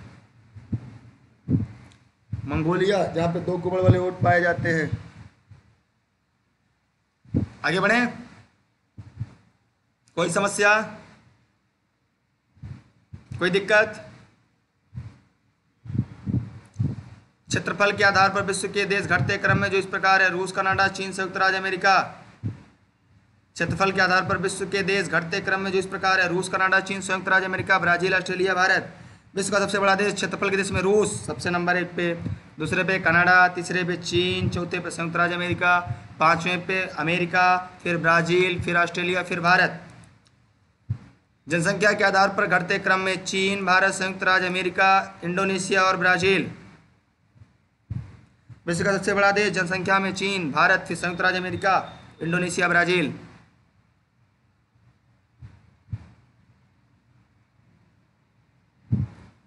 कोई समस्या?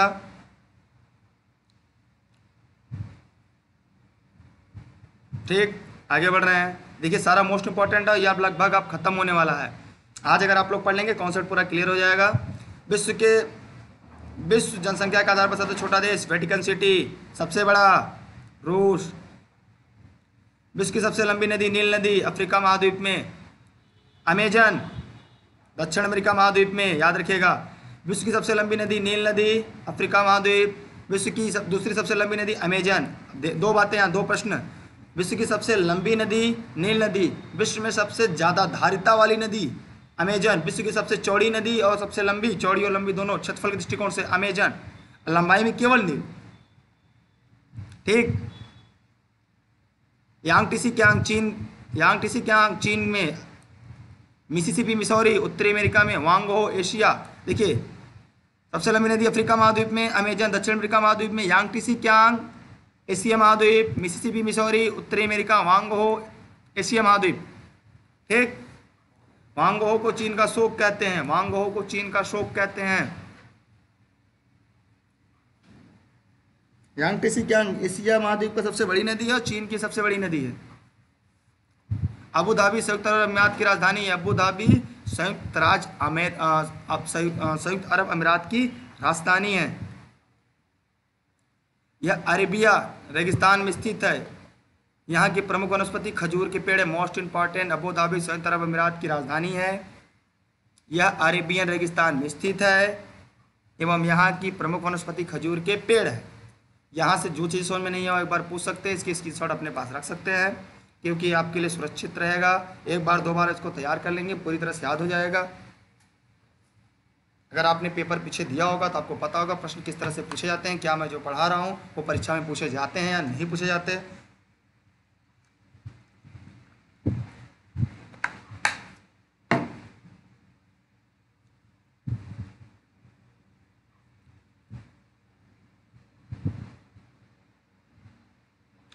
आगे बढ़े। कोई क्वेश्चन क्रैश क्वेश्चन कोई समस्या? आगे।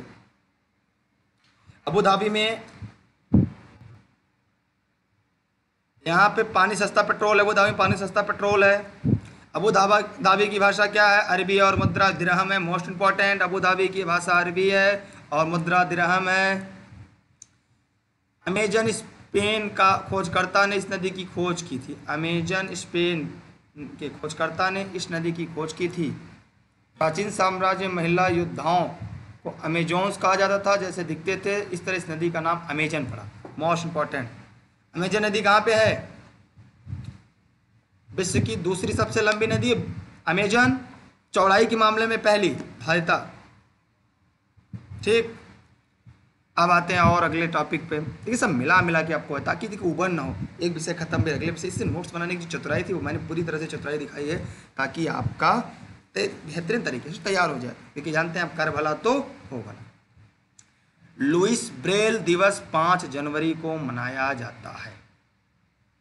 अंतर्राष्ट्रीय महिला दिवस आठ मार्च। विश्व उपभोक्ता दिवस चौदह मार्च। विश्व जल दिवस बाईस मार्च। विश्व पृथ्वी दिवस। पृथ्वी दिवस? सॉरी सॉरी एक गलती हो गई टाइप करने में। विश्व जल दिवस 22 मार्च, विश्व थल दिवस। दिया तो ये 22 अप्रैल है, इसे अप्रैल कर लीजिए सॉरी इसे आप अप्रैल कर लीजिएगा, पहला काम। आप इसे अप्रैल कर लीजिएगा। इसे अप्रैल कर लीजिएगा। ठीक 22 अप्रैल।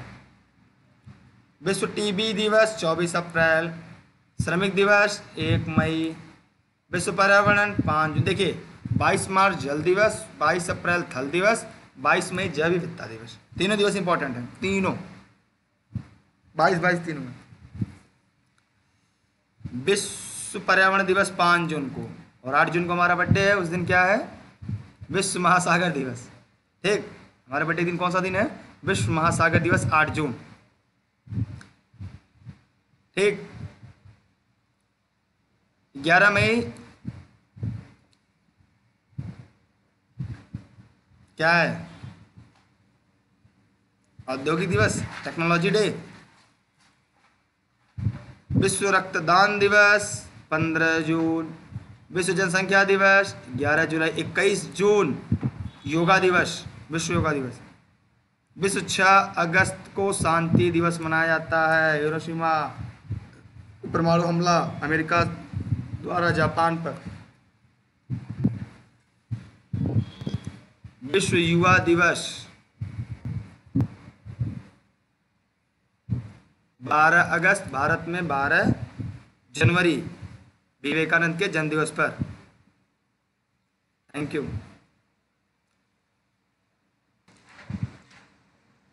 विश्व पर्यटक दिवस 27 सितंबर को मनाया जाता है। ठीक? विश्व पर्यटक दिवस 27 सितंबर को मनाया जाता है। देखिए, लगभग मेरे हिसाब से ये ईवीएस का अंतिम लेक्चर मेरा है और ये आपका कोर्स कंप्लीट है। आज ये कोर्स पूरी तरह कंप्लीट हो जाएगा। इसको पढ़ने के बाद आप UP TET C TET super TET state TET, किसी भी टेट में अगर पर्यावरण में क्वेश्चन आता है हंड्रेड आप थर्टी में से ट्वेंटी क्वेश्चन ज़रूर सही कर लेंगे। अगर आपने पूरी नोट्स पढ़ी होगी और एक दो पेपर सॉल्व किए होंगे। अंतर्राष्ट्रीय अहिंसा दिवस दो अक्टूबर। गांधी जयंती, शास्त्री जयंती, शिक्षक दिवस पाँच अक्टूबर। उनतीस अगस्त कौन सा दिवस मनाया जाता है, बताते रहिएगा विश्व खाद्य दिवस 16 अक्टूबर 16 सितंबर ओजोन संरक्षण दिवस, विश्व हिंदी दिवस सब बताते रहिएगा विश्व एड्स दिवस एक दिसंबर, दो दिसंबर, कंप्यूटर या संगणक दिवस, तीन दिसंबर, विकलांग दिवस या दिव्यांग दिवस, दस दिसंबर मानवाधिकार दिवस भारतीय रुपए में सत्रह भाषाएँ होती हैं, एक रुपए का नोट वित्त मंत्रालय जारी करता है, बाकी सभी नोट भारतीय रिज़र्व बैंक जारी करता है, ये भी पूछा क्वेश्चन ठीक तो इस प्रकार हमारे सारे टॉपिक महत्वपूर्ण कंप्लीट हो गए हैं। अब यहाँ से अगर कोई आपको क्रॉस क्वेश्चन पूछना तो आप पूछ सकते हैं, क्योंकि आगे जो हम लोग बढ़ने जा रहे हैं, यहाँ से प्रश्न पूछे जाते हैं। खासकर हिंदी साहित्य और हिंदी से में संस्कृत में पूछे जाते हैं, लेकिन हम पर्यावरण में भी इसका अध्ययन कर लेंगे। कोई क्वेश्चन क्रॉस क्वेश्चन पूछे कौटिल देखिए, एक तरफ़ पुस्तक है, एक तरफ़ लेखा कौटिल। कौटिल के दो अन्य नाम बताइए। कौटिल के पुस्तक है अर्थशास्त्र कौटिल के दो अन्य नाम बताइए आप। विष्णुगुप्त और Chanakya. War and Peace Leo Tolstoy Vishnu Sharma, Panchatantra, Kalidasa Abhijnana Shakuntalam, Meghadutam Kalhana Rajatarangini Ved Vyas, Mahabharata Mahabharata का पुराना नाम। महाभारत का पुराना नाम। कमेंट बॉक्स में जवाब दीजिएगा। कौटिल का Arthashastra War and Peace, Leo Tolstoy, Vishnu Sharma Panchatantra Kalidasa, Abhijnana, Shakuntalam, Meghadutam, Kalhana, Rajatarangini, Ved Vyas, Mahabharata, Kalhana की क्या है? राज तरंगड़ी। ठीक, वेद व्यास, महाभारत महाभारत का पुराना नाम। क्या हुआ? आवाज़ नहीं आ रही क्या आप लोग? रिप्लाई नहीं कर रहे हैं। आगे बढ़े, कोई समस्या आता है कोई भी समस्या हो, बेहिचक आप पूछेंगे, हम बेहिचक आपका जवाब देंगे और आपको संतुष्ट करेंगे पूरी तरह से। मेरा उद्देश्य, आपका बेहतर परिणाम लाना है। वाल्मीकि, रामायण बाण भट्ट हर्षचरित मोस्ट इंपॉर्टेंट बाण भट्ट सचेत याद के प्रश्न काफ़ी उलझा देता है। हर्षचरित की भी तीन रचनाएँ हैं, इसलिए लोग कंफ्यूज हो जाते हैं, कौन सी रचना किसकी है? ठीक? रत्नावली किसकी रचना है? अमर सिंह अमरकोश फिरदौसी, शाहनामा, अबुल फजल, आइन अकबरी अकबरनामा, आइन अकबरी अकबरनामा, अबुल फजल, गुलबदन, हुमायूनामा, अलबरूनी, किताबुल हिंद, किताबुल हक। रविन्द्रनाथ टैगोर, गीतांजलि, जिसमें से जनगणमन अधिनायक भारत का राष्ट्रीय गान लिया गया है। प्रेमचंद गोदान गमन कर्मभूमि सेवा सदन, most important. R K Narayan Malgudi days, Nehru, discovery of India, Mahatma Gandhi my experiments with youth take hitler mean camp most of most important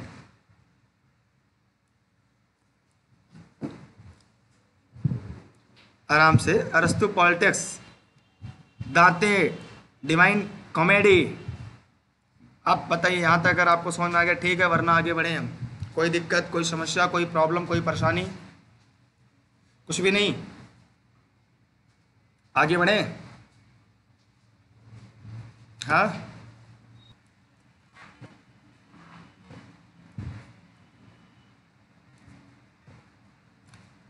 अब आते हैं, Homer.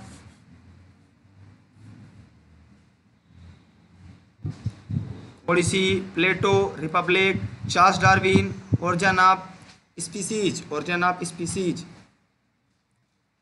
Shakespeare, as you like it, Romeo, Juliet, George Bernard Shaw arms and the man. फिर इधर व्यक्ति, खोज और आविष्कार। ठीक? कोलंबस, उत्तरी अमेरिका खोज चौदह सौ बानवे। वास्को डिगामा यूरोप भारत तक समुद्री यात्रा की खोज चौदह सौ अट्ठानवे।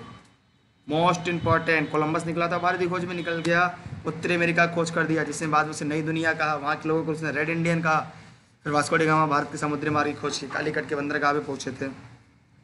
ठीक के Macmillan cycle, Charles Babbage computer Karl Benz, petrol car Lewis Waterman fountain pen Thomas Alva gramophone James Watt steam engine Graham Bell telephone Vasco da Gama Charles Babbage computer Karls Benz petrol Lewis Waterman fountain pen Thomas Alva gramophone James Watt steel engine Graham Bell telephone J L Baird television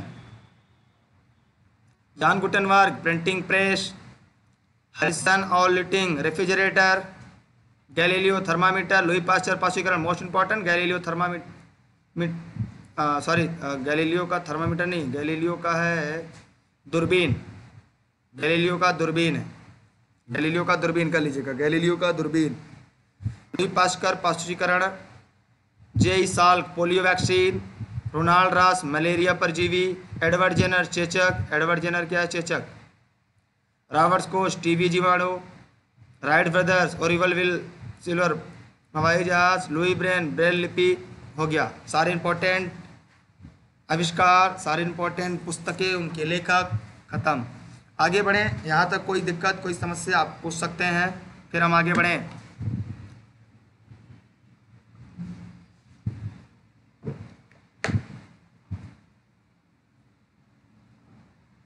कोई समस्या नहीं। कोई दिक्कत नहीं, चलिए। धम्म की शुरुआत अशोक ने की थी। धम्म की शुरुआत किसने की थी? अशोक ने की थी। सोमनाथ मंदिर राजस्थान में है। आगरा शहर की स्थापना सिकंदर लोधी ने की थी। याद रखिएगा, आगरा शहर को किसने की थी? सिकंदर लोधी। सोमनाथ मंदिर Rajasthan sorry sorry sorry Somnath मंदिर गुजरात। सोमनाथ मंदिर गुजरात सॉरी सोमनाथ मंदिर गुजरात में स्थित है। कहाँ पे गुजरात। ये केवल सीटेड के लिए प्रॉपर वे नहीं है? ये आपके लिए UP T T C T T super T T इसके साथ अन्य भर्ती परीक्षा में जहाँ भी पर्यावरण जीएस का ज़िक्र होगा, वहाँ सभी प्रश्न पूछे जाएँगे। क्योंकि जब मैंने पाँच से सात वर्षों के पेपर का अध्ययन किया, तब मुझे एक बात ज्ञात हुई कि वो केवल पर्यावरण क्या केवल पर्यावरण ही नहीं पूछते। आपने देखा होगा विवादित प्रश्न था रेखा शर्मा का यूपी टी दो में, महिला आयोग का अध्यक्ष। तो इस तरह से जो प्रश्न उन्होंने पूछा है, उस हिसाब से इस हिसाब से मैंने पूरी कोर्स को इस हिसाब से बनाया है ताकि आप एक ही बार पैसा इन्वेस्ट करके आप सारी चीज़ें ले लें। इसीलिए मेरे नोट्स, वीडियो लेक्चर सब कुछ आपको उपलब्ध हो जाएँगे। बस ई लर्निंग विद दुर्गेश पे। आप यूपी टेट जितना मैंने पढ़ाया है, इतना पढ़ के किसी भी ईयर का यूपी टेट पेपर दीजिए। अगर 20 से ज़्यादा प्रश्न होगा, फिर आप कहिएगा, सर, आपने तो बहुत गलत बोल दिया।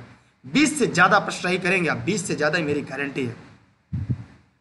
लेकिन आपको तैयार करनी होगी, आपको मेहनत करनी होगी। बिना मेहनत कुछ होने वाला नहीं है। और मैं जब भी पढ़ा मुझे अगर पढ़ाते हुए आपने देखा होगा इलेनिक दुर्गेश पे कहीं भी तो आपने भी देखा होगा। यहाँ पे भी आपको पूरा उपलब्ध है, क्योंकि मेरा कोर्स कंप्लीट हो चुका है ना। जब कोर्स कंप्लीट हो गया, फिर हम कैसे दे पाएँगे? सबसे बड़ी बात, अगर आपने जूनियर का दिया है, सीटेड भरा है, और उसमें आपने सामाजिक विज्ञान अध्ययन का चयन किया तो ये मेरे नोट्स आपके लिए रामबाण के काम करेंगे। पूरी तरह से, क्योंकि मैं खुद C TET upper primary primary दोनों qualify TET qualify super TET qualify हूँ फ़र्स्ट अटैम्प और वो भी बारह बारह घंटे क्लास लेकर। इसलिए मेरे साथ जो अनुभव है वास्तव में एक बड़ा अनुभव रहा है। बारह घंटे कोई क्लास पढ़ाना। मैथ के लिए मैंने सारी वीडियोज़ डाल दी हैं। अगर आप लोग ई लर्निंग विद दुर्गेश के रेफरल कोड द्वारा यूज़ करके आप सब्सक्राइबर अगर आप अकेडमी होते हैं तो हो सकता है मुझे आगे भी पढ़ाने का मौका मिलेगा तो मैं वहाँ पे गणित पूरा कंप्लीट कर दूँगा। वैसे आप मुझे जानते होंगे, मैं गणित पर्यावरण का टीचर हूँ और मेरे सब्जेक्ट में साठ में पचपन, पचास और पचपन के बीच लड़के लाते हैं। अगर आपको नहीं पता तो मेरे बारे में आप पता कर लीजिएगा। इलर्नी दुर्गेश अगर आप जानते होंगे, कोई बात नहीं। और नहीं जानते होंगे तो क्योंकि मैं आपका समय बर्बाद नहीं करना चाहता, मैं ज़्यादा बातें नहीं करना चाहता। बस मेरा उद्देश्य है कि आप पढ़ें और बेहतर अंक से परीक्षा उत्तीर्ण करें। बस मेरा एक टारगेट है और मुझे पता है आप ऐसा करेंगे। जी अन अकेडमी भी फॉलो कर सकते हैं। अन अकेडमी के लिए आप रेफरल कोड इलानी भी दुर्गेश में जोड़ के वहाँ पे अगर आप, क्योंकि वहाँ पे प्रॉपर आपको दो सब्जेक्ट मिल पाएँगे मेरे मैथमेटिक्स और ये, या कुछ रेगुलेशन है। ठीक। अब आगे आते हैं हम। आगरा शहर की स्थापना सिकंदर लोधी ने किया था। आगे पढ़ते हैं। खालसा पंथ की स्थापना गुरु गोविंद सिंह ने की थी। खालसा पंथ की स्थापना किसने की थी? गुरु गोविंद सिंह ने किया था। किसने किया था? गुरु गोविंद सिंह ने किया था। ठीक, आगे बढ़ते हैं अब आते हैं डाक व्यवस्था की शुरुआत करने वाला शासक शेरशाह सूरी था। डाक व्यवस्था का शुरुआत करने वाला जो शासक था वो कौन था? शेरशाह सूरी था। याद रखिएगा, डाक व्यवस्था सैनिकों को नगद वेतन देने की प्रणाली, घोड़े को दागने की प्रथा शेरशाह सूरी ने किया था। शेरशाह सूरी ने एक सड़क बनवाया था। सड़क का नाम हमें बताइएगा, हमने अपने इस नोट्स में आपको बताया है और पढ़ाया भी है। उम्मीद करते हैं आप हमें ज़रूर बताएँगे। तो आप हमारी उम्मीद पे तो खरा उतरेंगे। संवाद कौमुदी नामक समाचार पत्र के प्रकाशक राजा राम मोहन राय थे। ग्रैंड ट्रैक रोड सही है। गांधी जी को राष्ट्रपिता सुभाष चंद्र बोस ने कहा था मोस्ट इंपॉर्टेंट अरेबियन, रेगिस्तान, एशिया महाद्वीप में आता है। श्रीलंका की मुद्रा रुपया है। प्रथम साहित्यिक स्रोत हमें ऋग्वेद ऋग्वेद को रखते हैं।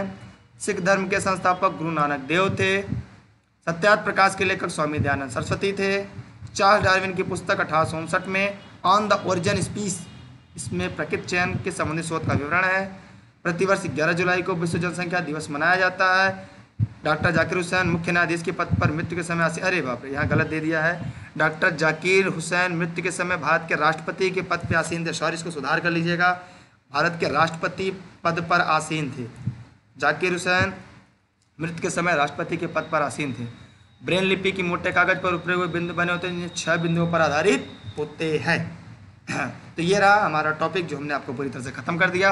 एक बार हम आपको और बता देते हैं आपको क्या क्या पढ़ना क्योंकि इसके बाद पर्यावरण शिक्षण की शुरुआत हो जाती है। ठीक? तो शिक्षण में आपको शॉर्टकट में हम एक बार आपको दर्शन कराते हैं, हमें क्या क्या पढ़ना है। बाकी चीज़ें हम बाद में पढ़ेंगे, लेकिन आज हम ये देख लेते हैं हमें क्या क्या चीज़ पर्यावरण शिक्षण पढ़ना क्योंकि आज मेरा वीडियो लास्ट है। कोर्स खत्म हो गया मेरा तो इसलिए हम आपको एक बार दिखा देते हैं। ठीक है? तो जल्दी जल्दी में केवल देख लेते हैं। पर्यावरण प्राकृतिक, सामाजिक और सांस्कृतिक तथ्यों से मिलकर बना हुआ है। देख रहे हैं, यहाँ पे ये पूरा दिया हुआ है। इसमें सभी अहम पॉइंट ऐसे हैं जो परीक्षा में पूछे गए। सबसे बड़ी बात यह है ना कि यहाँ पे जो मैंने दिया है, वो सभी किसी न किसी परीक्षा में पूछा गया एक बार इसके बारे में डिफाइन करना डिफाइन करने के बाद इसको सॉल्व कराना है। ये हो गया। फिर इस देखिए, इस पेज को भी देखिए। पर्यावरण शिक्षा के बारे में यहाँ पे भी दिया गया, इसको भी आप स्क्रीन रख सकते हैं, इसको भी पढ़ना है।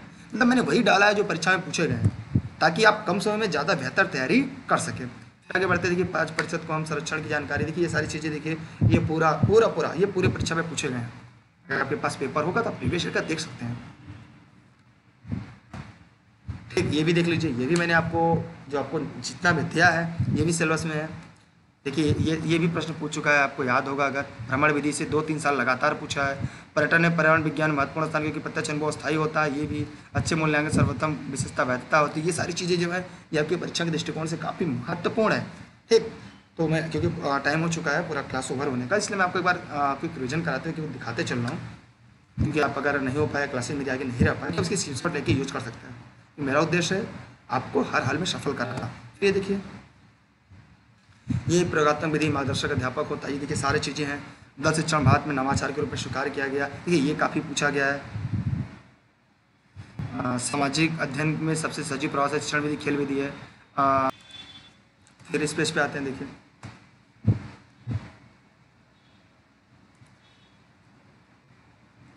देखते हैं ये भी पूछा क्वेश्चन है। ज्ञान इकाई है कि प्रतिपादक डीवी जान है? ये पूछा क्वेश्चन है। फिर आगे बढ़ते देखिए मैंने मतलब जो भी मैंने बनाए हैं वो वास्तव में वही बनाए हैं जो आपके परीक्षा के दृष्टिकोण से सबसे ज़्यादा महत्वपूर्ण है। मैंने ऐसे क्वेश्चन ही नहीं डाले इसमें, जो आपके परीक्षा के दृष्टिकोण में जिनकी महत्व उतनी कम हो। ठीक? देखिए, ये भी कैरिकुलम शब्द का तात्पर्य है। मैं दौड़ का मैदान की सारे पूछे हैं। कि नाटक देश में सर्व सामग्री, दोनों सामग्री होती है। दल शिक्षण सर्वप्रथम प्रयोग अमेरिका में किया गया था। ये सारी चीज़ें जो है पियाजे कथाने के बच्चे दुनिया के बारे में अपनी समझ का सृजन करते हैं। सारी चीज़ें हैं जो आपके लिए ज़्यादा महत्वपूर्ण है। तो बस आप लोग जुड़े हैं। बेहतर पढ़ रहे हैं। ये थोड़ा अच्छा लगता है और हम तो पूरी पूरी मदद करने के लिए भी तैयार हैं। कि आप अपना बेहतर करें ज़िंदगी का बेस्ट दे ताकि सफलता झक मार के आपके सामने है। और आएगी। देखिए ये देखिए ये सारे ये, ये भी पेज है। देखिए आप इसके भी स्क्रीन रख सकते हैं। क्योंकि मैं आपको इसलिए कह रहा हूँ ताकि आपका अगर कोर्स रिन्यूअल ना हो तो आपका दिक्कत ना होने पास, सारी चीज़ें आपको पूरी तरह से मिल जानी चाहिए। फिर देखिए, यहाँ पे आते हैं, ये भी सारी चीज़ें मिल जाती हैं। विषय वस्तु कैसा होना चाहिए शिक्षार्थी को मानसिक स्तर कैसा होना चाहिए, इन बातों का भी विशेष ख्याल हमें पूरा पूरा रखना चाहिए। फिर आगे आते हैं, विषय वस्तु की भाषा, शिक्षार्थियों की बोलचाल की भाषा कैसी होनी चाहिए, ये भी पूरा हमने दे दिया है। ठीक, पूरा देख रहे हैं, ये सारा जितने टॉपिक अगर आप पढ़ पा रहे होंगे तो ये आपके परीक्षा के लिए काफ़ी मत देखिए, ये प्रश्न पूछा है। ये दो, इसमें दो प्रश्न है, दोनों सीटें ने पूछा है। जैसा कि हमने ऊपर वर्णन कर रखा है कि एन सी एफ़ दो हज़ार पाँच कक्षा तीन से पाँच तक पर्यावरण का अध्ययन पढ़ा। देखिए, ये पूछा प्रश्न है सी टी टी तो चौदह में, कि पर्यावरण की कक्षाएँ पर्यावरण किताबें प्राथमिक कक्षा में किस कक्षा से लेकर किस कक्षा तक चलती है? तो तीन, चार, पाँच। किसमें कक्षा तीन, चार, पाँच? फिर ये पूछा है, इसे कितने थीम में विभाजित किया? अच्छा तीन। थीम के बारे में पूछा मतलब इस टॉपिक से चार प्रश्न अभी तक सीटें ने पूछा, केवल एक लाइन से। विश्व तो कैसे मुझे ये ये भी हो गया। विद्यार्थी खोज के लिए पर्याप्त समय देती है जात विकास की ये भी हो गया। छात्र स्वयं सीखने की होगी ये देखिए किंडर गार्डन विधि वाला ध्यान, ये प्रॉबल ये भी हो गया आपका। आगे आते हैं। देखिए, ये सारी जो टॉपिक आपके सामने, ये भी आपके सीटेट में पूछा जा चुका है। ये मांटेसरी विधि क्या है प्रॉबल विधि क्या है सारा चीज़ एकदम। पता सबसे बड़ी बात क्या है एकदम तोड़ तोड़ कर है। ये नहीं, पूरी कहानी आपको सुनानी नहीं है। केवल एकदम टोटल टॉपिक आपसे बात करनी आपको समझानी बस बात खत्म। ज़्यादा में कहानी रचना ही नहीं है। ठीक है? फिर और आगे आते हैं। आज जो लेसन छोटा तो आज आज मैंने जस्ट कवर किया है। ये छोटा वो लेसन था। देख रहे हैं ना? इसको पढ़ने के बाद ये बात आपको लग जाएगी, सर, जितना आपने पढ़ाया था, वही सारे प्रश्न पूछा थे इससे पूछ ही नहीं गए ये देखिए, ये भी यहाँ पे देखिए, शिक्षण विद्या निगमन विधि, आगमन विधि, कैसे क्या क्या ये फिर शिक्षण विधियाँ यहाँ पे आ गए। फिर यहाँ पे देख रहे हैं, सबसे प्रमुख उनकी योजनाएँ दी हैं।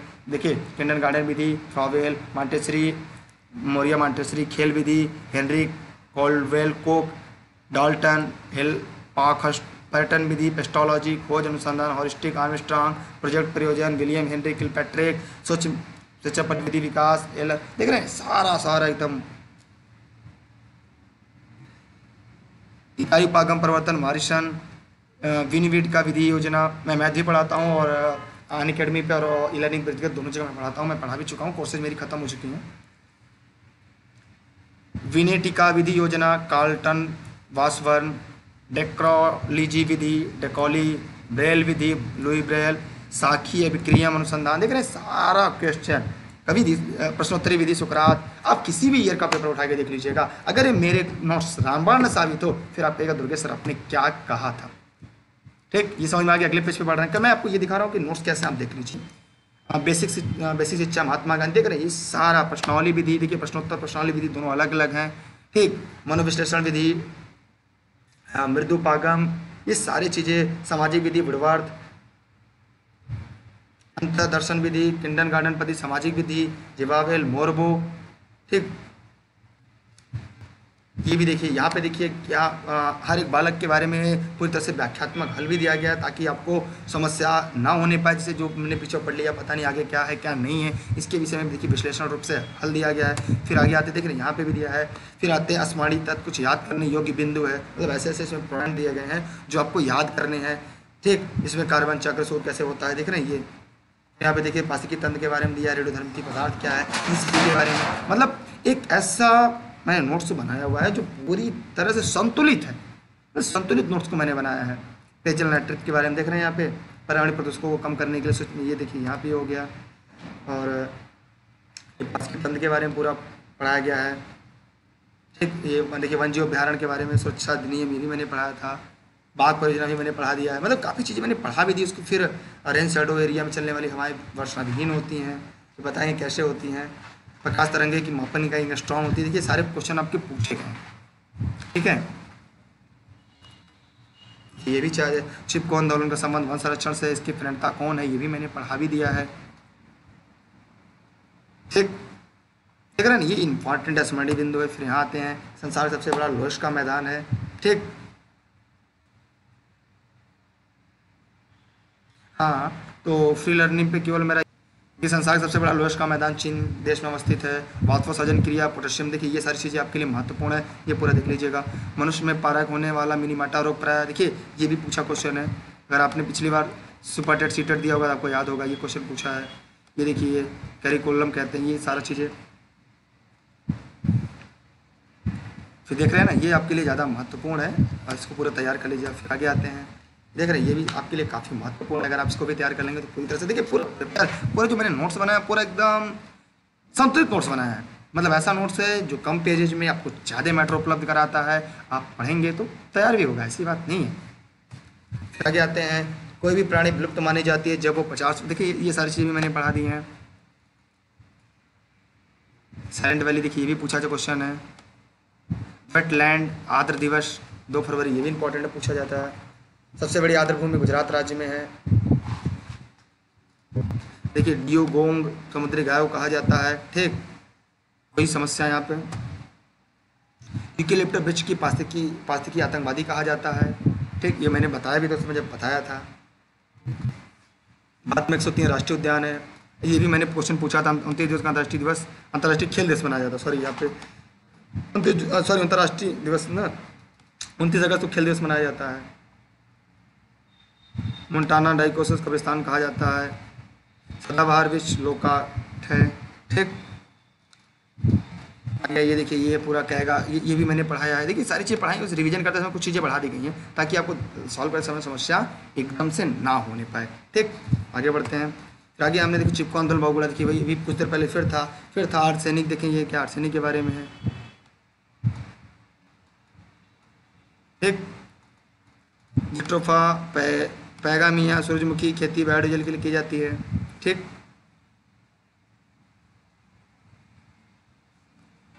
फिर आते हैं बायोगैस की, यहाँ नीलगिरी, मेघ, बकरियाँ ये सब पूरा हो गया। फिर आते हैं यहाँ पे देखिए इकोलॉजी इजी ट्रांसलेट क्या है, सारी चीज़ें आपके एकदम पूरी तरह तैयार हो गई।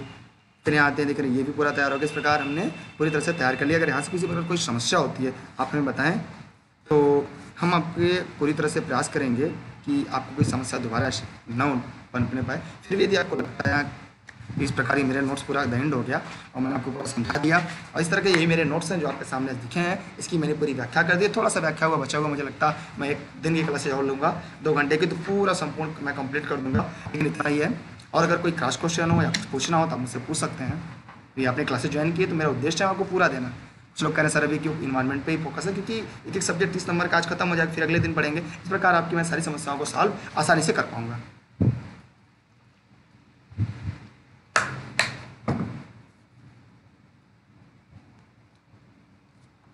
कोई क्रॉस क्वेश्चन कोई प्रश्न? नहीं पूछना है? चलिए बहुत बहुत धन्यवाद आप सभी का। आप सब लगातार इतनी देर तक जुड़े रहे, हमसे पढ़ते रहे। बड़ी बात होती है, इतना लंबा वीडियोस देखना। ठीक? तो सबसे ज़्यादा बड़ी बात है ये। तो बस, आप मेहनत करते रहिए, सफलता की दर दिन आगे बढ़ते रहिए। और कहीं ना कहीं एक दिन आप सफल होंगे, हम भी सफल होंगे, आप भी सफल होंगे, क्योंकि मैं लगातार आपके लिए मेहनत करता हूँ और आप भी करते हैं। तो सरिका जी, आपका मोस्ट वेलकम है। मैथमेटिक्स के सभी के नोट्स हमारे पास उपलब्ध हैं। आपके पास आपको पता ही होगा, अगर आप मुझे जानते होंगे। तो बस यही है। आप लोग जुड़े और अन्य लोगों को भी जुड़ें। अगली बार जो